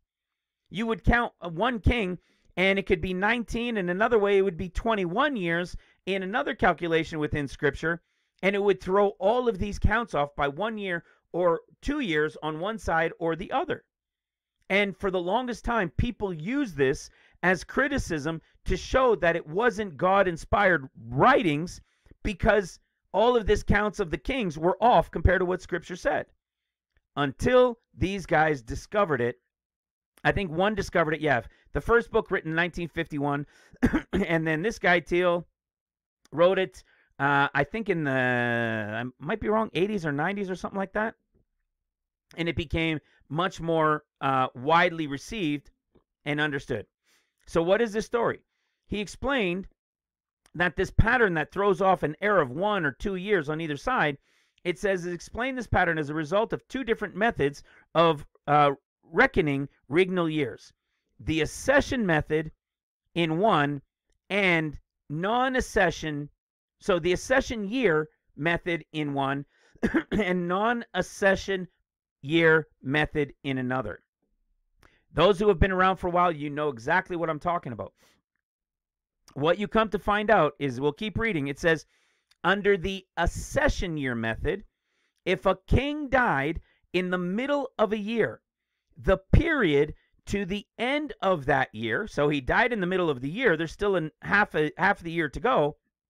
It says the period to the end of that year would be called the accession year of the new king, which means that remaining half a year that the new king took over in, he is not officially in his first year. His first year isn't beginning to count. It's just considered his accession year. And then it says, under the non accession year method, the period to the end of that year, so the same scenario, the king dies halfway through, the other half of that year, it says, of the year would be year one of the new king, and year two would begin at the start of that year. so, what that means is where accession took the the the remaining portion of that year when the first king died and this other king took over there's 6 months left in the year it was called accession and then when his time starts that's now the beginning of his first year and the other half was just the accession in the non-accession format the king would take over from the other one in the midst of the year and those 6 months would be called his first year and when it got to the new year, they would now say that that began his second year of his reign. So you end up seeing how that could really, really throw off the, the, the counts of the kings in Scripture. And then what you find out is it says uh, Israel. So the house of Israel is the one that used non accession. Okay? And the house of Judah used the accession method. Now, listen to this. In addition, Thiele also concluded that Israel counted years starting from the spring or in Nisan, while, while Judah counted the years starting in the autumn of Tishri. So not only is there a difference between accession and non-accession in how the kings began their reign, but the house of Israel, which used um, non-accession, and whatever the months were between kings, that would be his first year. And then when his second year officially begins, it would start in the spring at the at Nisan at true Nisan Okay, at month one. But if it was the house of Judah, then whatever that that that period between the king's death and the other king taking over, that wouldn't be called year one, and it would become year one at the fall beginning of the year, not at the spring beginning of the year like the house of Israel did. You see how twisted that would be in trying to figure out the count of the kings to track during scripts throughout scripture? And that's why you had people, this is why it's so powerful, because you had people for centuries that would criticize and you criticize the scriptures and use that as a thing to point to to say, see, the scriptures are, fa- are fouled, they're corrupted. this is not the word of God. He can't even count his own kings uh, properly throughout his house of Israel and house of Judah. It wasn't until this was discovered and then started to spread that it became understood, and now nobody could say anything about it. Hello. What have people been using for centuries against the scriptures? The differences in the gospels. The differences in the gospels people have been using to discredit scripture to say, look at what this gospel says compared to this gospel, compared to this gospel. And there is no way you could tell me that that's just a, a, point of view or a perspective. It's clearly one thing being spoken of differently than the other. Sound familiar? It's the same story of what they were doing with before accession and non-accession. It's what everybody's been doing, saying, and even trying to attack us that it's not true because they haven't taken the time to see that it is true. That the revelation of the Gospels is the same type of typology of picture of what these guys went through. And when it finally got the light of day and started being taught in the seminaries, there was nobody now able to dispute it.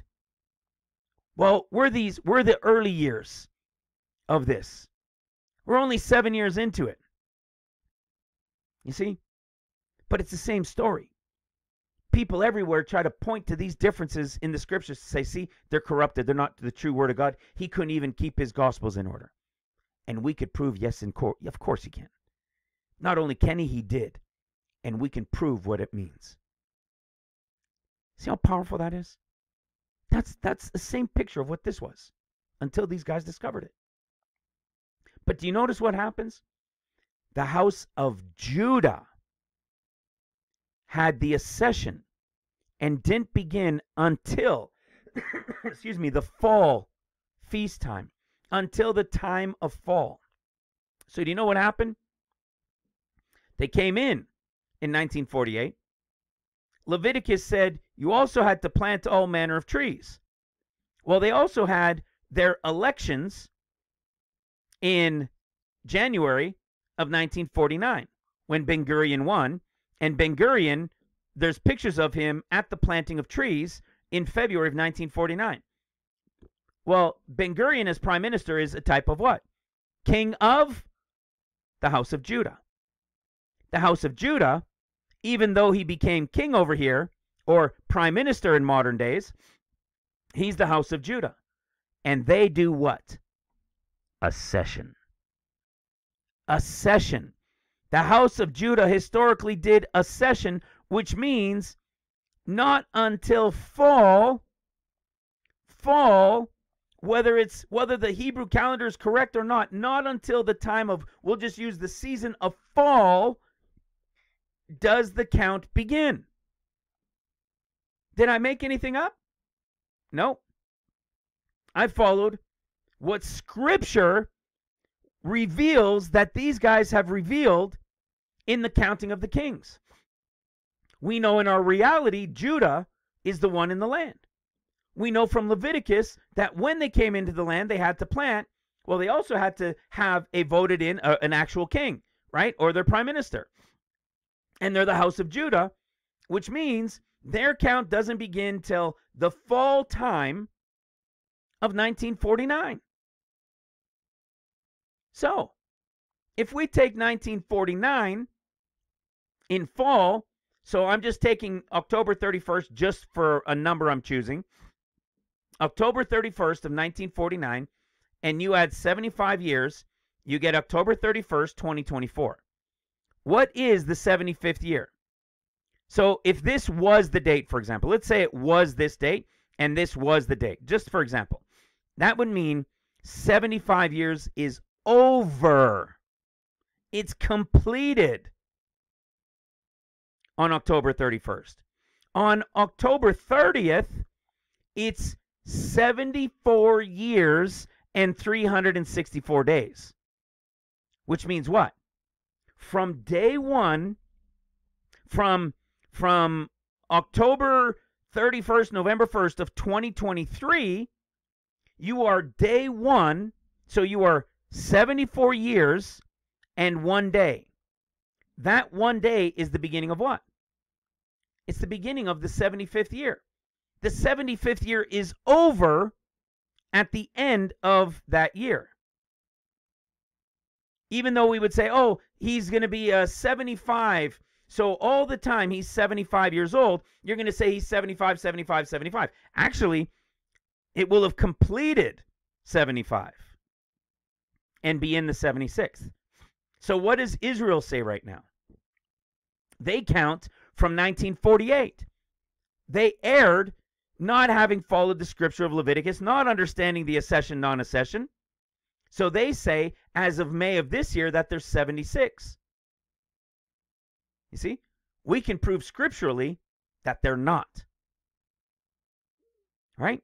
They're in their 75th, and their 75th year comes to an end in the fall of 2024. Let me show you a great example of this. Benjamin Netanyahu. This was shared by her brother Brian in the forum. I think it was earlier today. Benjamin Netanyahu was born in 1949. Okay? 1949, uh, October 21st. This was Benjamin Netanyahu's birthday. Okay? What are we talking about? We could have used the example instead of me saying October 31st, I could have just used Benjamin Netanyahu's birthday two days from now. Okay? So in two days from now, ben, it'll be Benjamin Netanyahu's birthday. He was born in the fall of 49. What did the revelation of this count tell us? That the count for the house of Judah began in the fall of 1949. Okay? So if it began in the fall of 1949, how old is Benjamin Netanyahu until his birthday? He's 74 years old, right? But he's what? In reality, he's in his 75th year, right? He's 70 he's 74 years old, 363 days old. Those 363 days are the 75th year. It's like when you're born until you're year 1. All of those 365 days of the first days of your life, you're in your first year. And when you turn 1, you've completed your first year but everybody calls you one even though you're in your second. We've talked about this a few times before. So he's 74, but he's in his 75th. And when he hits October 30, uh, October 21st, or like our picture of October 31st, he will have completed or be 75 years old. But this is to give you this picture to show you that the reality is we are in the 75th and it's between the turning of 74 and the completing of 75. Why is this important? Because what Leviticus tells us. When you come into the land and shall have planted all manner of trees, you can't take from it. It's not yours. The land, it's none of it belongs to you yet. It's uncircumcised. You can't touch it for three years. Three years you can't take from it. But in the fourth year, all the fruit thereof shall be holy to praise the Lord with all. So in the fourth year, it belongs to God. It belongs to the Father in that fourth year. And then what does it say? And in the fifth year shall you eat the free the fruit thereof. So from in that fifth year forward, it's yours to eat, which means four and one. And in that one is what? The 70th. It's the beginning of the 70 years. So it means when the end of the true 4 and 5, right, completing that 75th, that that fifth in the 70th, when that comes to an end, the 70 years are over. You understand what I'm saying? Just like Netanyahu. He's 74. What was it? One, two, three, four. You can't take from it. It's not yours. The, the, the land, none of it belongs to you. Your count began in the fall of 1949. For the first four years, it wasn't yours. Three you can't take. Four is mine, says the Father. And from the fifth year forward, it's yours. Which means four and then the 70, and at the end of 75 is the end of 70 just like Netanyahu's birthday, except we're not saying it's that exact date. But the picture is the fall time frame from 1949. This is the unequivocal picture of the end of 70 years.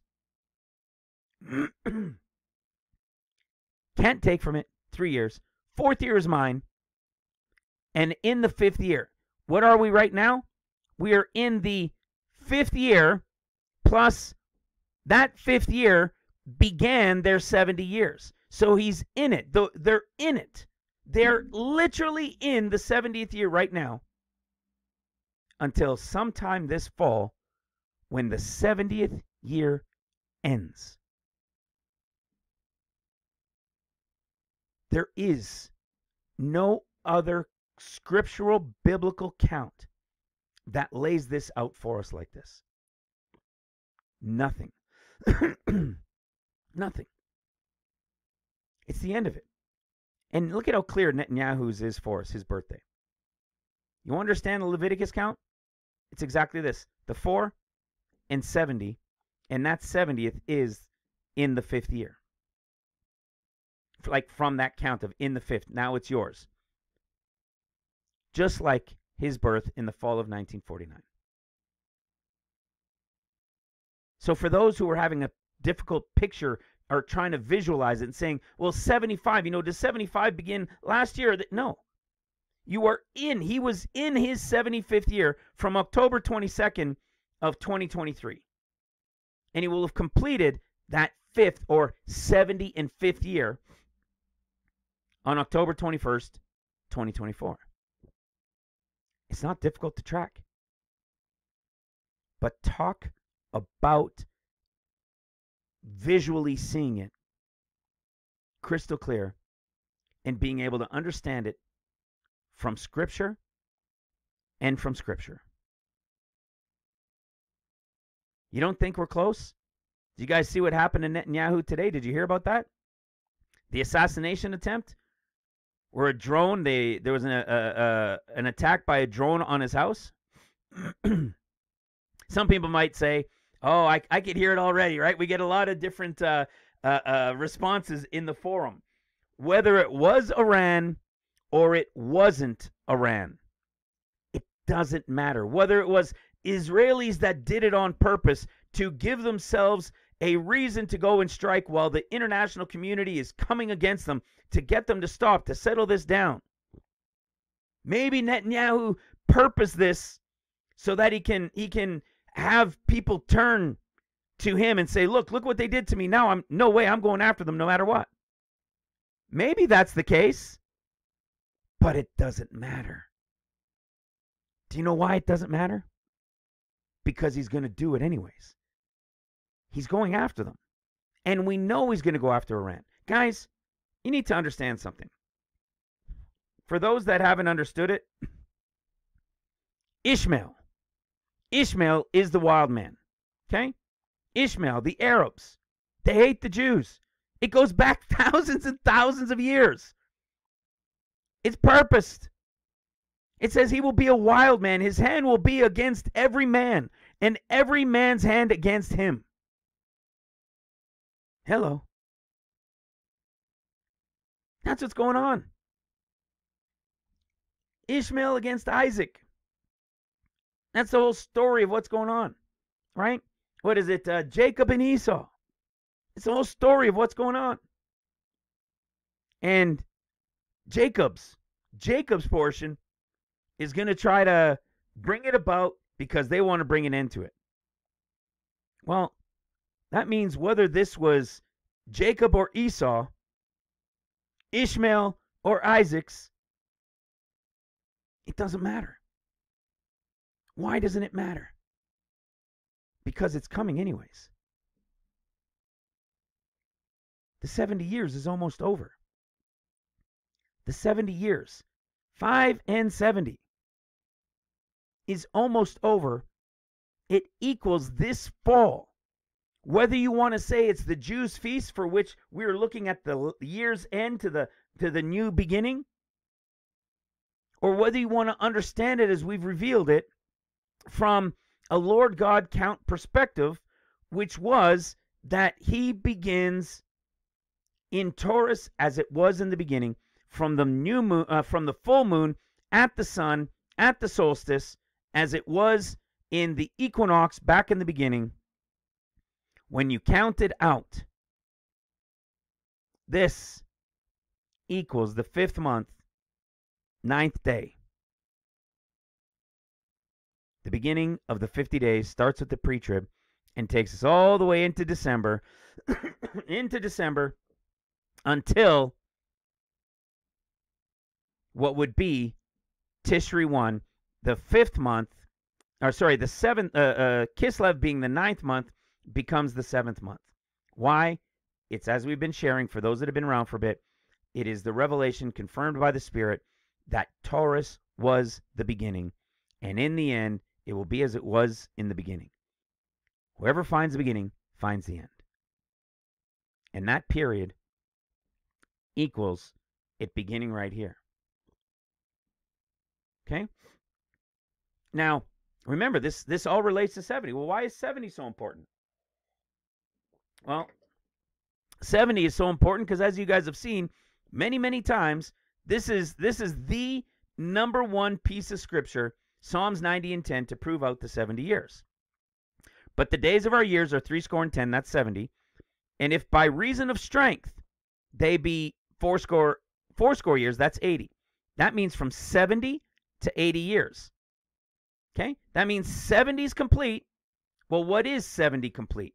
Well, the five were at the beginning, right? The four into the fifth, and then the 70 years, because in that fifth year, it's theirs. Which means this is the 70th year right now right as we speak. And when it ends, Psalms 90 and 10, the end of days begins. And what does it say? From 70 to 80, yet is your strength labor and sorrow. The word for labor and sorrow means uh, pain, travail, tribulation. So that's 10 years. And then it is then it says for it is soon cut off. That means a short period of time which I've explained many times and we can prove it's about six months. So you've got 10 years in about six months, and then it says, and we fly away. We know that this we fly away has nothing to do with the pre trib. This is all about Revelation 12 14, 10 and a half years into tribulation, when they fly away on the wings of an eagle to the end of the 14th year. This group that flies away on the wings of an eagle from Revelation 12 14 they don't return until the sounding of the shofar of the Jubilee, and they will be brought back into the land, and they will receive their portions of land back, and the millennial reign will begin. So you've got 10 years, about six months, and the three and a half years that they fly away. This is the 14 years. When does it begin? When seven years is over. And then you got 10 and a half approximately until the cut off. Well, what about Daniel chapter 9? Daniel chapter 9, we see the same thing, right? Again, something we've shared on a number of times. Let's go to the E sword. In Daniel chapter 9, there is from the was of Daniel 9 written about the is of when Christ came the first time in the story of Daniel 9, but it's also it also reveals the is to come, where you don't have to multiply the 70 of weeks of years and all that they could be 70 weeks as years, just as it says, which means 70 what? Years. 70 Shabuas, right? 70 feasts of weeks, not multiples of seven, but 70 of them. So what do we see? 70. The story even relates from verse 2 when he understood that he would accomplish 70 years in the desolations of Jerusalem. And here he is talking about 70 weeks, which is Shabua, right? Which is the word for Feast of Weeks of years. So what do you have? 70 specifically of years. And then what does it say? Verse 25. Know therefore and understand from the going forth of the commandment to restore and to build Jerusalem. Most people don't get what this is there for because they can only relate it to the is of what happened. See? But in the end of days, it's because why? It's because Jerusalem is destroyed at the start of the 14 years. Hello. It starts with the destruction of Jerusalem, the 14 years that starts after the 50 days. So it says, Know therefore and understand that from the going forth of the commandment to restore and to build Jerusalem unto Messiah the Prince shall be seven weeks. Seven what? Years. If 70 is years, then from 70 years, you have what? Seven years, which represents seals. And then it says comma and, which means this is separate from this, but they're comma and, they're to be added together. So you've got seven, and then you've got three score and two. So the two weeks is another two years.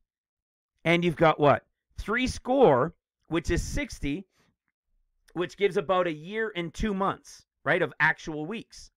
So you're at about three and a half years. But what happened during the first seven years of seals? The city and the streets never got rebuilt, right? We know only the foundation does. But what does it go on to say? It says during the three score and two weeks, the about three and a half years, which takes us to a total of about what? Ten and a half years approximately. It says during the about three and a half years, this the first half of trumpets, right? The street shall be built again, and the wall even in troublous times. After, specifically, see, the three score in two weeks, which is the about three and a half years, the about first half of trumpets. Listen to this. It says Messiah shall be cut off. Seven and about three and a half, that's about ten and a half years. And then you have Messiah cut off. What did Psalms 90 and 10 tell us? 10 and about six months, right? A, a period of soon and then cut off. That's 10 and a half years and then cut off. Another place we have, we were talking earlier about our chapters to years. Zechariah is a great one. We saw the Lord coming feet down on the Mount of Olives. Do you know what happens is if you go to Zechariah chapter 1, just like Daniel, we saw that it talks about the 70 years and then gives a breakdown.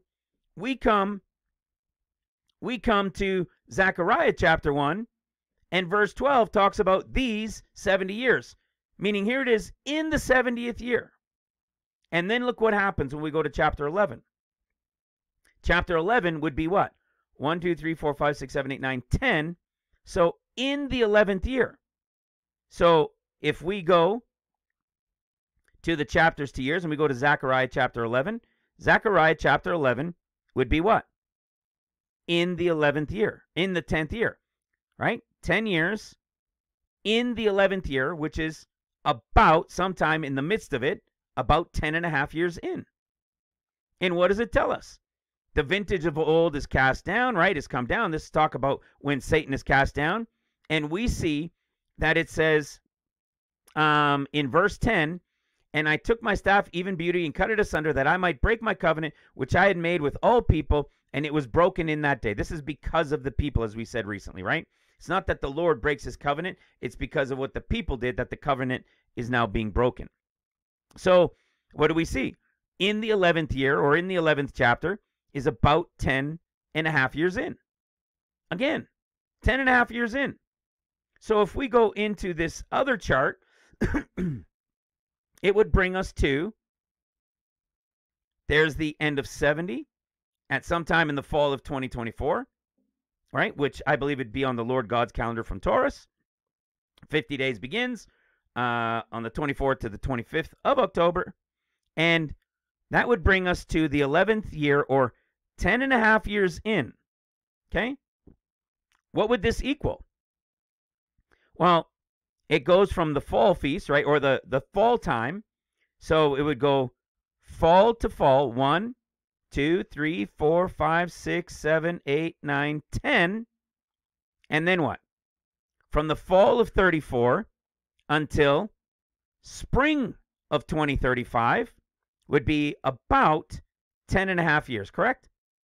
About 10 and a half years would be spring of 35 because this year starts in the fall of 2034 and it ends in the fall of 2034.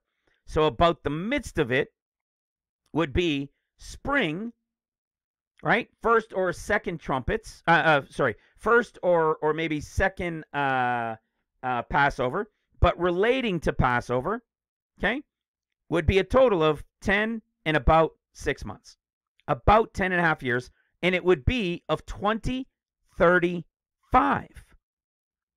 2035. But when Christ came the first time, and you do this count of Daniel 9, and you do it, and people say, see, look, it equals when it happened with Christ in 33 AD. Well, that's because you're counting from the was, right, from BC, but there was no BC, remember that. You're counting in events that took place from the was and you're counting it to find this date in the is to come. It's simply a number of years from when the count began. And that's how they could understand this year time frame when Christ showed up, right? In his death and resurrection.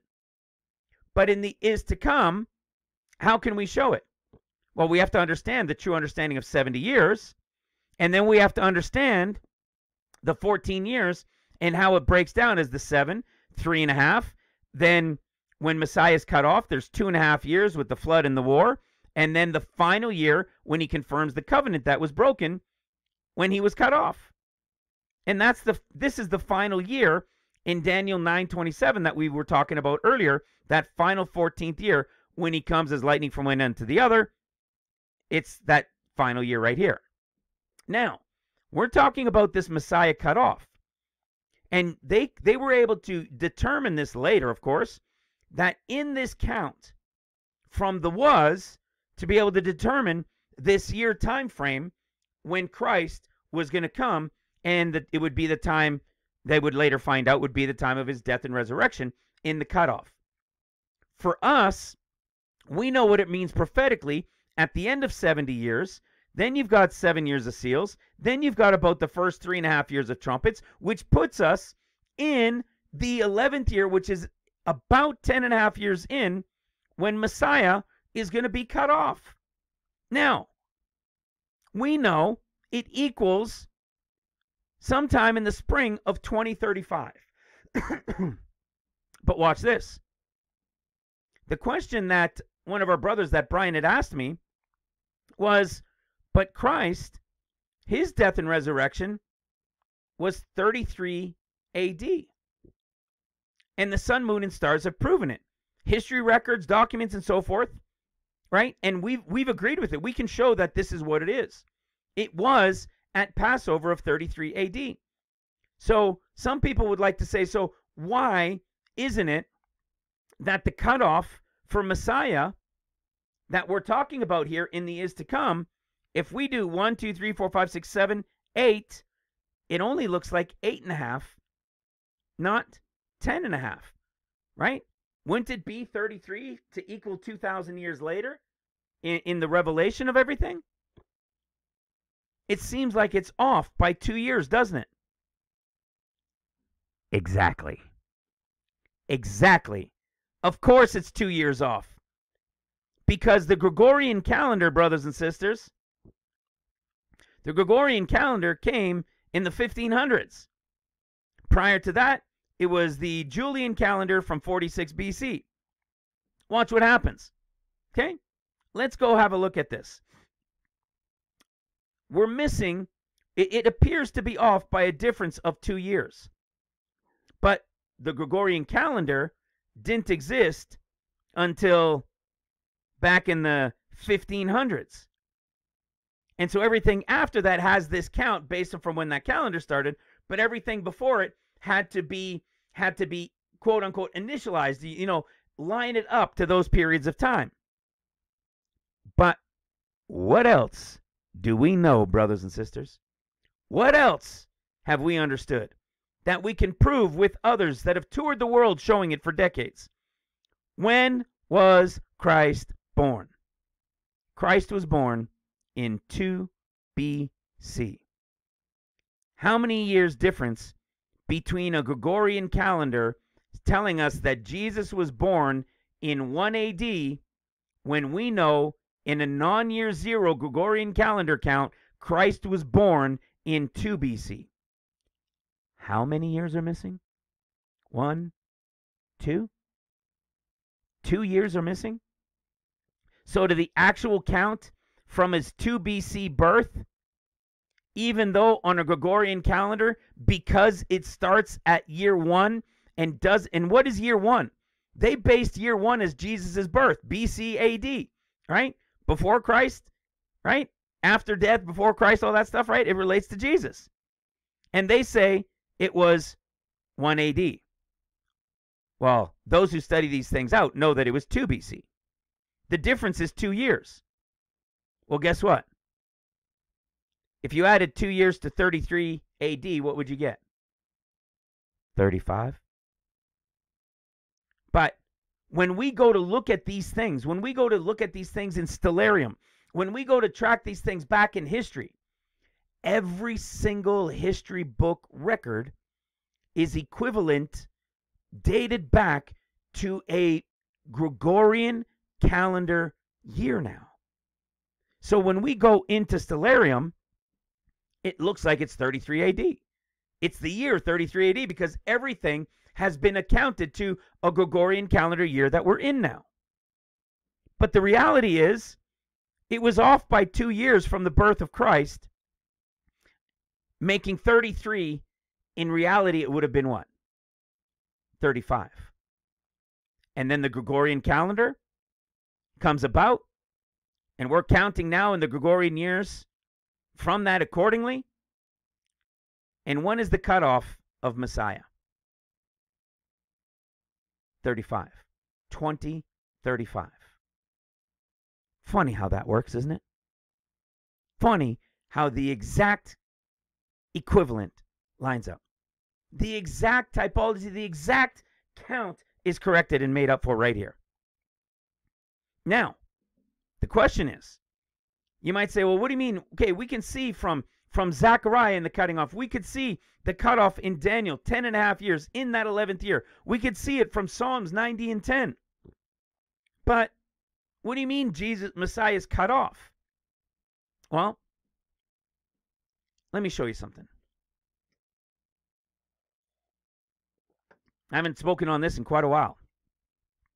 If we go to Luke chapter, oops, Luke chapter 24, we actually get the true story of the death and resurrection of what took place when Christ came in the is. And here's what we see. In Luke chapter 24, verse 6 and 7, it says, He is not here, but he is risen. Remember how we spake unto you when he was yet in Galilee, saying, listen carefully, that the Son of Man must be delivered into the hands of sinful men, comma, and be crucified, comma, and the third day rise again.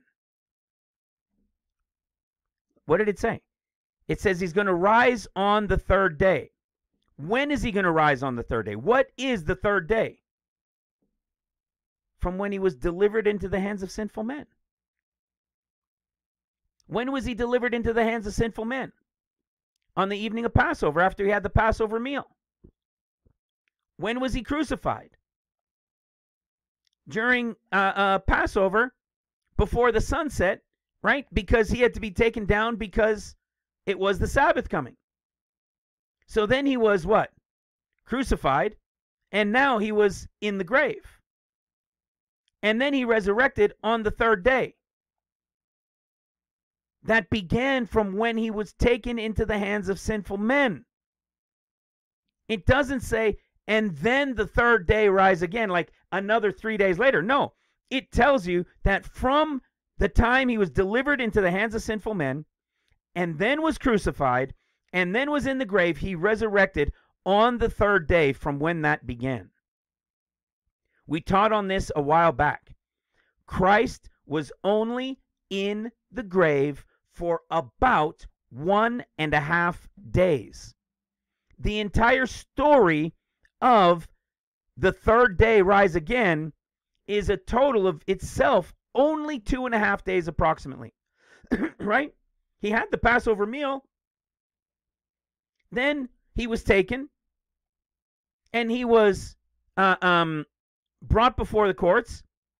Then he was crucified during the day, right? In in the afternoon, late late morning afternoon, and he had to be taken down before the sun, and he was put in the grave, which is the 15th day, and he resurrected in the daytime in the morning of the 16th. Everybody knows this from the 14th to the 16th. and yet everybody tries to go and tell you that he was in the grave for three days and three nights and resurrected on the fourth day. Impossible. Not even possible. How could it be that he resurrected on the third day if he was in the grave for three days and three nights? People will try to go to the Jews, and the Jews will say any part of one day, even if it's one hour from one day and then one full day and then one hour from the next day. That's three days. Nope. Because Matthew's gospel says three days and three nights. Jesus was not in the grave for a full three days and three nights.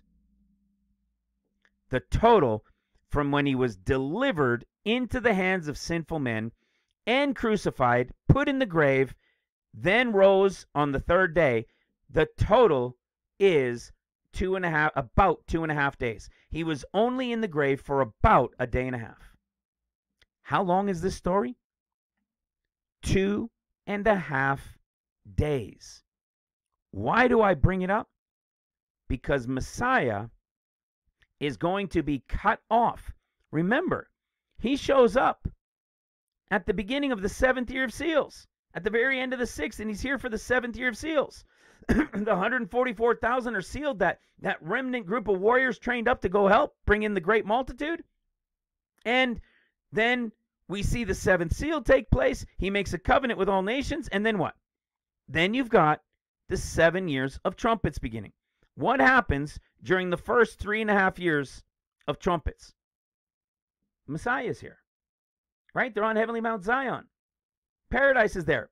And the city streets and temple are being rebuilt during the first three and a half years of trumpets while the Messiah is here. Messiah, high priest, and King Melchizedek. Just like we saw from Luke 17. That's when when they when uh, and then shall he be revealed. He's there on Mount Zion. Everybody's freaking out. But then it says in the is to come of Daniel, in Psalms 90 and 10, in Zechariah 11, and in many other places, he gets cut off. When is he cut off? In 2035, the equivalent to what 20 uh, to what 33 was because he was born in 2 BC, which is really the equivalent of 35, and in our time it will be 2035. Do you understand that in a 2024 full count, it's the only year it equals this? Hello. Remember what we were talking about in recent videos that only this year, for the next 30 years, does the solstice at the sun in Taurus at the full moon happen? Happens this year and doesn't happen again for another 30 years? And that count is as it was in the beginning. And it's the exact count to take that takes us to the 24th, 25th, beginning of the 50 days with the pre-trib of October. And then the Son of Man returning October 31st, November 1st, depending what side of the world you're on. That only happens once in the next 30 years. And I just showed you that the 70th year, from a biblical count and a historical understanding of counting of the kings, only happens this year, the 5 and 70. This year, the 70th year ends this year. There's no more option for it. And now, on top of all of that, I just showed you that the difference of a 2 BC to 33 was the difference that actually tells you it would have been equivalent to 35 AD. And from the Gregorian calendar's creation until now, it equals 2035, the year that Messiah would be cut off. Some people might say, well, shouldn't this be the 6,000th year then? Nope. And you know why? Watch this. We just talked about it a little earlier. Watch what happens. Remember this principle? Shared it earlier. The day for a year principle. The day for a year principle. Just like I went through with you in relation to the story of the ark with Noah, the seven days as years, seven days as years, seven days as years reveals the 21 years, the 777 we've been talking about, to then the final Jubilee, the 22nd year. It's, it's the picture of the menorah, 7771. Well, it's the same principle of a day to a year that applies here. Messiah was taken into the hands of sinful men, or delivered into the hands of sinful men, crucified, put in the grave, and rose from the beginning of that count on the third day, which was a total of about two and a half days. Prophetically, the day to year principle would mean those two and a half days would prophetically be two and a half years. Hello.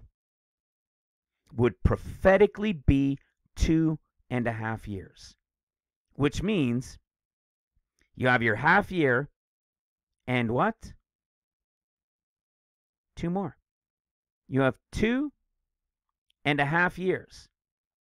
Two and a half years brings you to the end of what? 13 years and leaves one year. What did Daniel show us? What did Psalms 90 and 10 show us? From the cutoff, there's the fly away that leaves three and a half years, like Revelation 12, right? 14. Daniel's tells us from the cutoff, which is about 10 and a half years, just like Psalms 90 and 10, about 10 and a half years. It tells us that the people of the prince that shall come, right? When when uh, when the beast comes back, there's going to be a flood when Satan is cast down, and then there's a war. And when this war is over, there's one more week, one more year, the 14th year, as it was in the days of Noah of Matthew 24.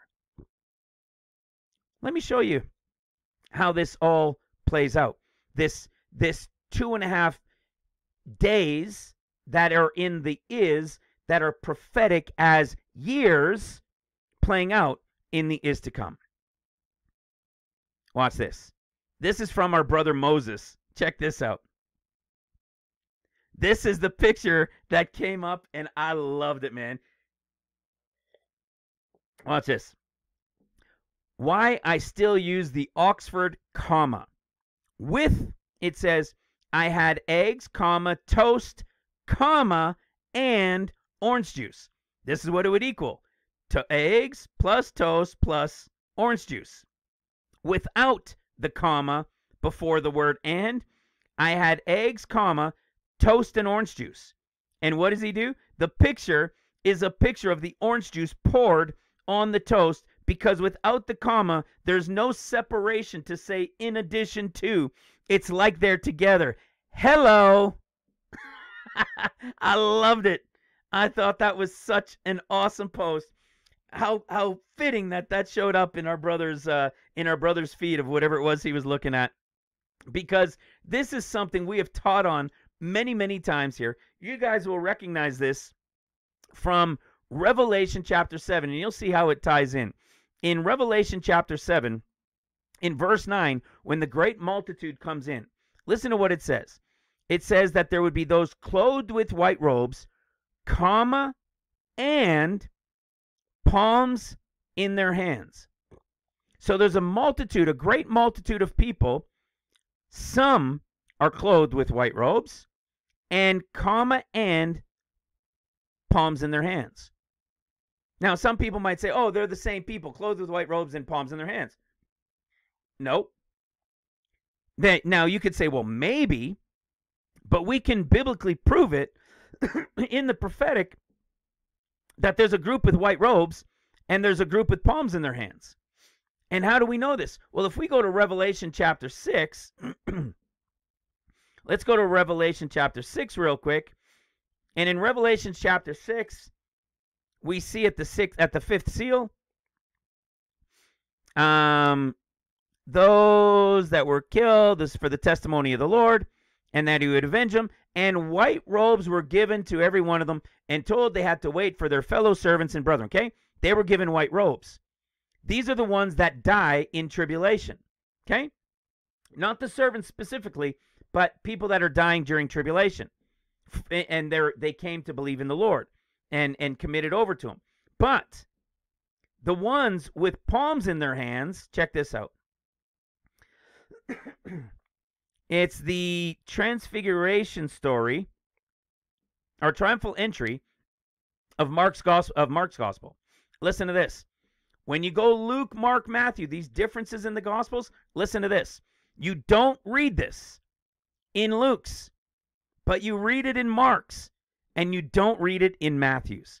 So remember, we could see those who were had who were given white robes because they died in the midst of seals in the name of the Lord.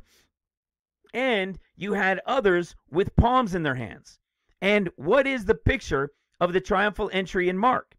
It's a picture, it's prophetically layered in a picture. That's why the difference of it between Luke, Mark, and Matthew this is a picture of the Lord coming at the end of the sixth year, which is the time of the start of the seventh year of seals. And when he comes, what does it say in verse 8 that it says in no other gospel? And many spread their garments in the way, and others cut down branches off the trees. Well, wait a second. Remember the seven, the second seven in in uh, the story of the ark, when the dove came back in that seventh year and had a branch, right? The olive leaf, which means branch plucked off. Look at what it says here. And the other, the others cut down branches off the trees. And this branches is used one time only in Mark. Exactly in the prophetic time frame picture of the seventh year of seals when the Lord is returned. And what did Revelation say? It said in chapter 7 that there were those with white robes, comma, and palms in their hands. These are those who died, and these are those who were alive still at his coming. Comma, and a separation in addition to. It's pretty wild, isn't it? It acts I love that one. It just it blows my mind seeing that. Well, here's another one for you which connects going back to what we're talking about of this time with Christ when when the Messiah is returned and there's this time where he gets cut off. We go to Daniel chapter 12. In Daniel chapter 12, in verse 7, it says, And I heard the man clothed in linen, which was upon the waters of the rivers, when he held up his right hand and left hand unto heaven, and swear by him that liveth forever, that it shall be for a time, comma, times, comma, and a half. You see, I've talked about this many times, pun intended, that there's no word and between this time and this times, but there is between times and a half. So you have a comma, no and, comma, and a half. It says, and he shall have accomplished to scatter the power of the holy people. When he shall have accomplished to scatter the power of the holy people, all these things shall be finished. When is it finished? At the end of 13 years, at the start of the 14th, when they see the Lord coming on the clouds as lightning from one end unto the other. As soon as it says in Revelation 10, as soon as the seventh trumpet begins to sound, the mystery is over. It's finished. Well, what does this say? Time, times, and a half. There's no and between them. It's one, comma, 2 comma plus a half. This is two and a half years. Watch this. Two and a half years. Well, what what did we say here? That this is where Messiah is cut off, and that in the is it was two and a half days approximately. In the is to come, we're saying it's going to be two and a half years two and a half days. In the prophetic, days as years, two and a half years. Watch what happens. In in Daniel chapter 12, it was two and a half years. But if we go to Revelation chapter 12, again, a, piece we know very, very well. We go to Revelation chapter 12, and we see that when Satan has lost his battle in heaven and has been cast down, having lost his battle against Michael and his angels, Satan and his angels are cast down. This is now mid trumpets time, the about 10 and a half years. And what's going to happen? The pit's going to open, and the beast is going to come back, and he's going to be the son of perdition and goes into perdition, right? It's the first woe. The fifth trumpet is the first woe. And what does it say? It says he knows he has but a short time. It's two and a half years. And when the dragon saw that he was cast unto the earth, he persecuted the woman which brought forth the man child. And to the woman were given two wings of a great eagle that she might fly into the wilderness, uh, into her place where she is nourished for a time, comma, and times, comma, and half a time. You notice the difference from Daniel 12? There's an and right here. It means in addition to. 1 plus 2, that equals 3. Plus a half, that equals three and a half. So what do we know? When Messiah gets cut off, Messiah gets cut off, and there's two and a half years of Satan here and him having his short time. And it starts by what? Revelation 12 tells us that it starts by him going after the woman with a flood from his mouth. He's going after her with a flood from his mouth. And what time is it? We know it's mid trumpets, 10 and a half years in when the cutoff takes place. Well, if we go to Revelation 11, we see that, actually, if we go to Revelation 9, we see that the first woe, the star is fallen. What is the fifth angel sounding? It's the first woe. Revelation 12 said it was at the woe. And what happens? And he opened the pit. We go to Revelation 11, and what happens at the pit when it's opened? When the pit is opened, it says, and then the beast in verse 7 and the beast that ascends out of the bottomless pit shall make war against them and then shall overcome them and kill them. Okay? But what does he do first? When the beast comes out of the bottomless pit, he makes war against them. So when Satan is cast down and the pit is opened, the beast that was that was killed at the end of the 6 year of seals, he was for 42 months, he is not, and then he's going to ascend out of the bottomless pit and he's going to make war against the two witnesses for two and a half years. Satan knows he has but a little time, and how long would it be? It told us in Daniel that it would be time times and a half. Because there's no end, it's not 1 plus 2 plus a half. It's 1, 2 plus a half, meaning 1, 2, 3, 4, 5 and a half. That would be 5 and a half. 1, 2 and a half. That's two and a half years. There's going to be the war that's two and a half years. And when he's cast down, he goes after them with a flood. And what did Daniel chapter 9 tell us would happen when Messiah was cut off. What did it say? When Messiah is cut off, about ten and a half years in, it says, And the end thereof shall be with a flood. What happens when Satan's cast down and the pit is open? He goes after them with a flood. And then what happens? It says, Unto the end of the war which means there's going to be a war, and this war is going to end before this final week, which is the final 14th year. So, how long does the flood and the war last? Daniel 12 told us two and a half years is how long Satan would have. So, what do we see for Messiah? What do we see about his cutoff?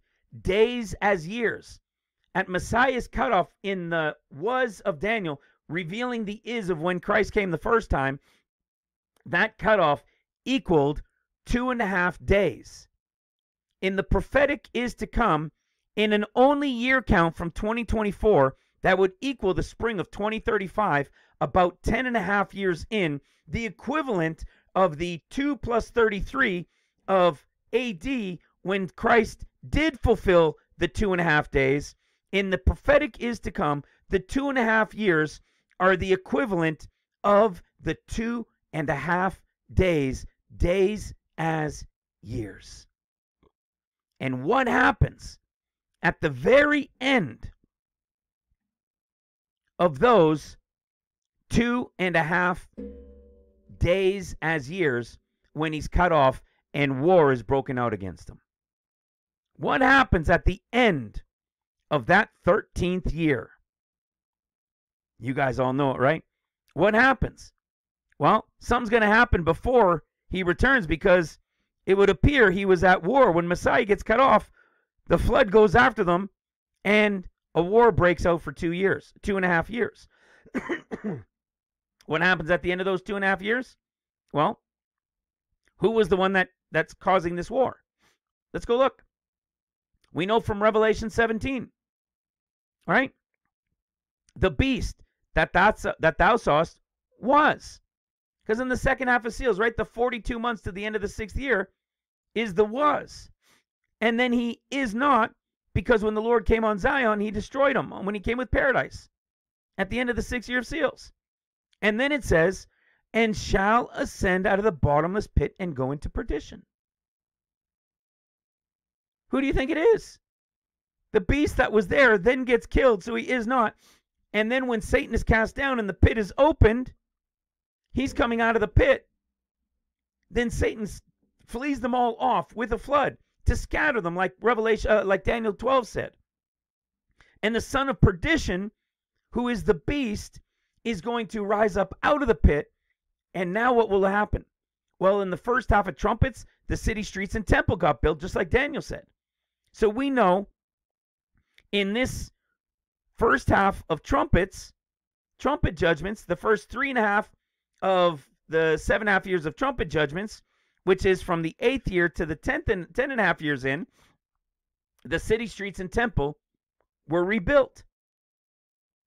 So when when the beast comes now out of the pit and goes into perdition, we know it's what we shared recently, which is Second Thessalonians chapter 2, that the falling away first, then shall be revealed the son of perdition. This is the prophetic is to come of the Laodicean age of the end of days. We're in the Laodicean age now, but when the Laodicean age ends, at the moment of the pre trib, the seven churches will play over again.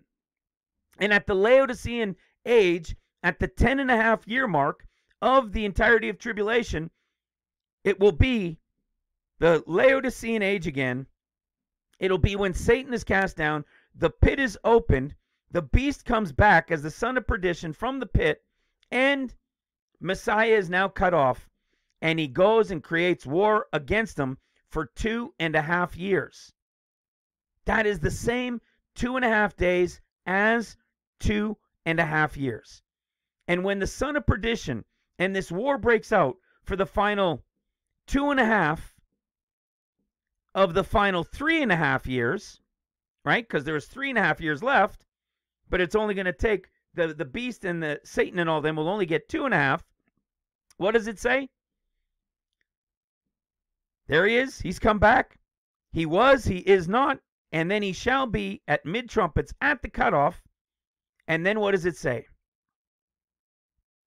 In Second Thessalonians 2, verse 8, and then shall that wicked be revealed, whom the Lord shall consume with the spirit of his mouth, and shall destroy with the brightness of his coming. When the Lord, after the two and a half years, and then there's the again that takes place, and it relates to the two witnesses, which are what? Three and a half days. Remember the unfulfilled Matthew portion of after three days and three nights. will be fulfilled in the portion of the two witnesses at the end of those two and a half years at that cutoff. And then what happens? They stand up, they go to heaven, and then what happens?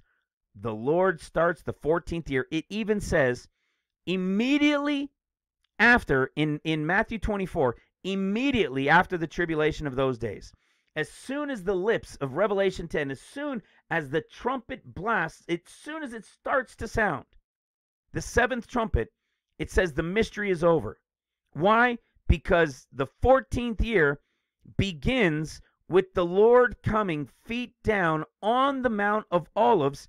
And when he comes on the Mount of Olives, we saw in Luke chapter 17 that when he does fulfill that final portion that he started the story with in 1724, when he comes as lightning from one end of heaven unto the other, when he comes in his day, when he comes as Matthew chapter 24 said in verse 27, only found in Matthew's, not in Mark or Luke's, we see that he says in verse 27 of Matthew 24, For as the lightning cometh out of the east and shineth unto the west, so shall the coming of the Son of Man be. And as you guys know from recent teachings and from old ones, this word coming is used four times in the Gospels, in any of the Gospels, and all four of them are used in Matthew 24 about his coming as lightning from one end to the other when he returns feet down at the start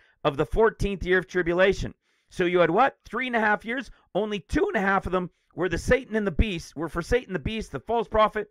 And then when the Lord, when that two and a half year battle is over, and then the Lord returns, feet down on the Mount of Olives at his coming, it's at him coming as lightning from one end unto the other, to then Zechariah 14 defeat all the enemies that came against them. And what did Second Thessalonians tell us about what would happen at the end of that time after the son of perdition had his two and a half years during that war. Then what does it say? Verse 8 of Second Thessalonians chapter 2 and then shall that wicked be revealed, whom the Lord shall consume with the spirit of his mouth, and shall destroy with the brightness of his coming. Same word, all of it relating to him returning feet down on the Mount of Olives as Matthew chapter 24, immediately after the tribulation of those days, he returns at the 14th year, feet down on the Mount of Olives, the 100th year of Abraham. Isaac is now born. And when he comes, what is it going to be? It will be, as we said at the beginning, It'll take us back to Matthew, the end of Matthew 24, where it will be as it was in the days of Noah. That started with the 40 days of the Son of Man. That played out the 7, 7, 7 in the entirety of the storyline. And then at the final year, the 49th year of the 7, 7, 7, 7, 7, 7 from the last Jubilee, it will be the 49th year for the days of Noah that will be one year and 10 days long. And when that's over, what happens? On the 10th day, the Day of Atonement, because when did it all start? At the full time, because it is to the house of Judah this time. And when the seven years is over, or the 14th year is over, it will have been from the fall feast to the fall feast the whole way through. And 10 days later is what? From the true fall feast of trumpets to the true Day of Atonement 10 days later is exactly what Scripture tells us comes next. When he will what? When he will sound the shofar of the final Jubilee, the 22nd year in the big picture or the 14th year of the end of days to the 15th. Brothers and sisters, this is the revelation of the menorah. It is the revelation from the beginning of Genesis to the end of Revelation. Seven easy, seven of seals, seven of trumpets. Final is the 22nd year. It is the revelation of the seven times seven. It is the final three. And when it really takes place, is the final two, just as the story from the ark. It's revealed everywhere. Isn't that a wild one? You see how everything is connected? You see how it all tracks? How it all perfectly fits together without a glitch, without trying to, to jimmy rig something in anywhere? What happens in that final year? What happens when that when the Lord deals with them in that final 14th year like Zechariah 14? When he comes as the Isaac, the promise. Well, in the 10th day after that 14th year, which is the 49th year, the only one that has 10 ever 10 extra days to sound the shofar of the jubilee, what happens? Those who fled into the wilderness on the wings of an eagle, they were gone for a time and times and a half. They were taken till the end of the 14th year. While the Lord was in this war for two and a half years and then returns feet down and destroys all of the enemies of Jerusalem, right? Of his people, destroys all of the enemies in that final 14th year. And then, when that 14th year is over, when that three and a half years is over, on the 10th day, the sound of the Jubilee, the, shof- the shofar, is sounded, and all those that were taken on the wings of an eagle to a place protected will be brought back to receive their inheritance, to receive their promise. And what was their promise? The millennial reign of peace. The restoring of all of their lands to each of the tribes, just as he told them would happen in Ezekiel at the end of 47 and all of Ezekiel 48. Brothers and sisters, I pray this blesses you. I, I pray you were able to track it, follow it, spend some time in it over the next few days, and really seek and search it out. If you're newer and you haven't seen this before and really tracked into it, it's absolutely incredible. Just consider all of these parts and pieces was the same story. It was all telling us the prophetic revelation of the end of days. And it was shared by other brothers and sisters who have understood these things, who have tracked these things, who have studied and diligently sought them out, as we've been doing for years in the Ministry Revealed form and through these teachings here. How powerful is that? Let us all finish strong, brothers and sisters, in these final, prayerfully few days that remain. I'm speaking to you from October 19th, 2024, and we have five to six days left. I think five. I pray we have understood it this time. You saw it with your own eyes. You could track it with your own eyes. This is the end of 70. It, it equals the time from Christ in the equivalent from the was to the is. We can show the count based on accession, non accession. We know it's fall time compared to springtime. It's all there. I believe we're here, guys. I really, truly believe it in my heart of hearts and it's kind of freaky. Let's be honest. We're talking about something that that seems like a fairy tale. But it's the revelation of the word of God through the leading of the Spirit. The cherry on top, I believe, is now here, and the revelation is revealed. So let's finish strong. Let's keep seeking and searching. Let's keep sharing if we can. Let's help our brother in Uganda reach more people, get more things done. And let's stand before the Son of Man, prayerfully having been accounted worthy to escape all these things that shall come to pass, or to be ready when he returns from the wedding in knocks. I love you. God bless you. God bless your families always. See you shortly. Bye for now.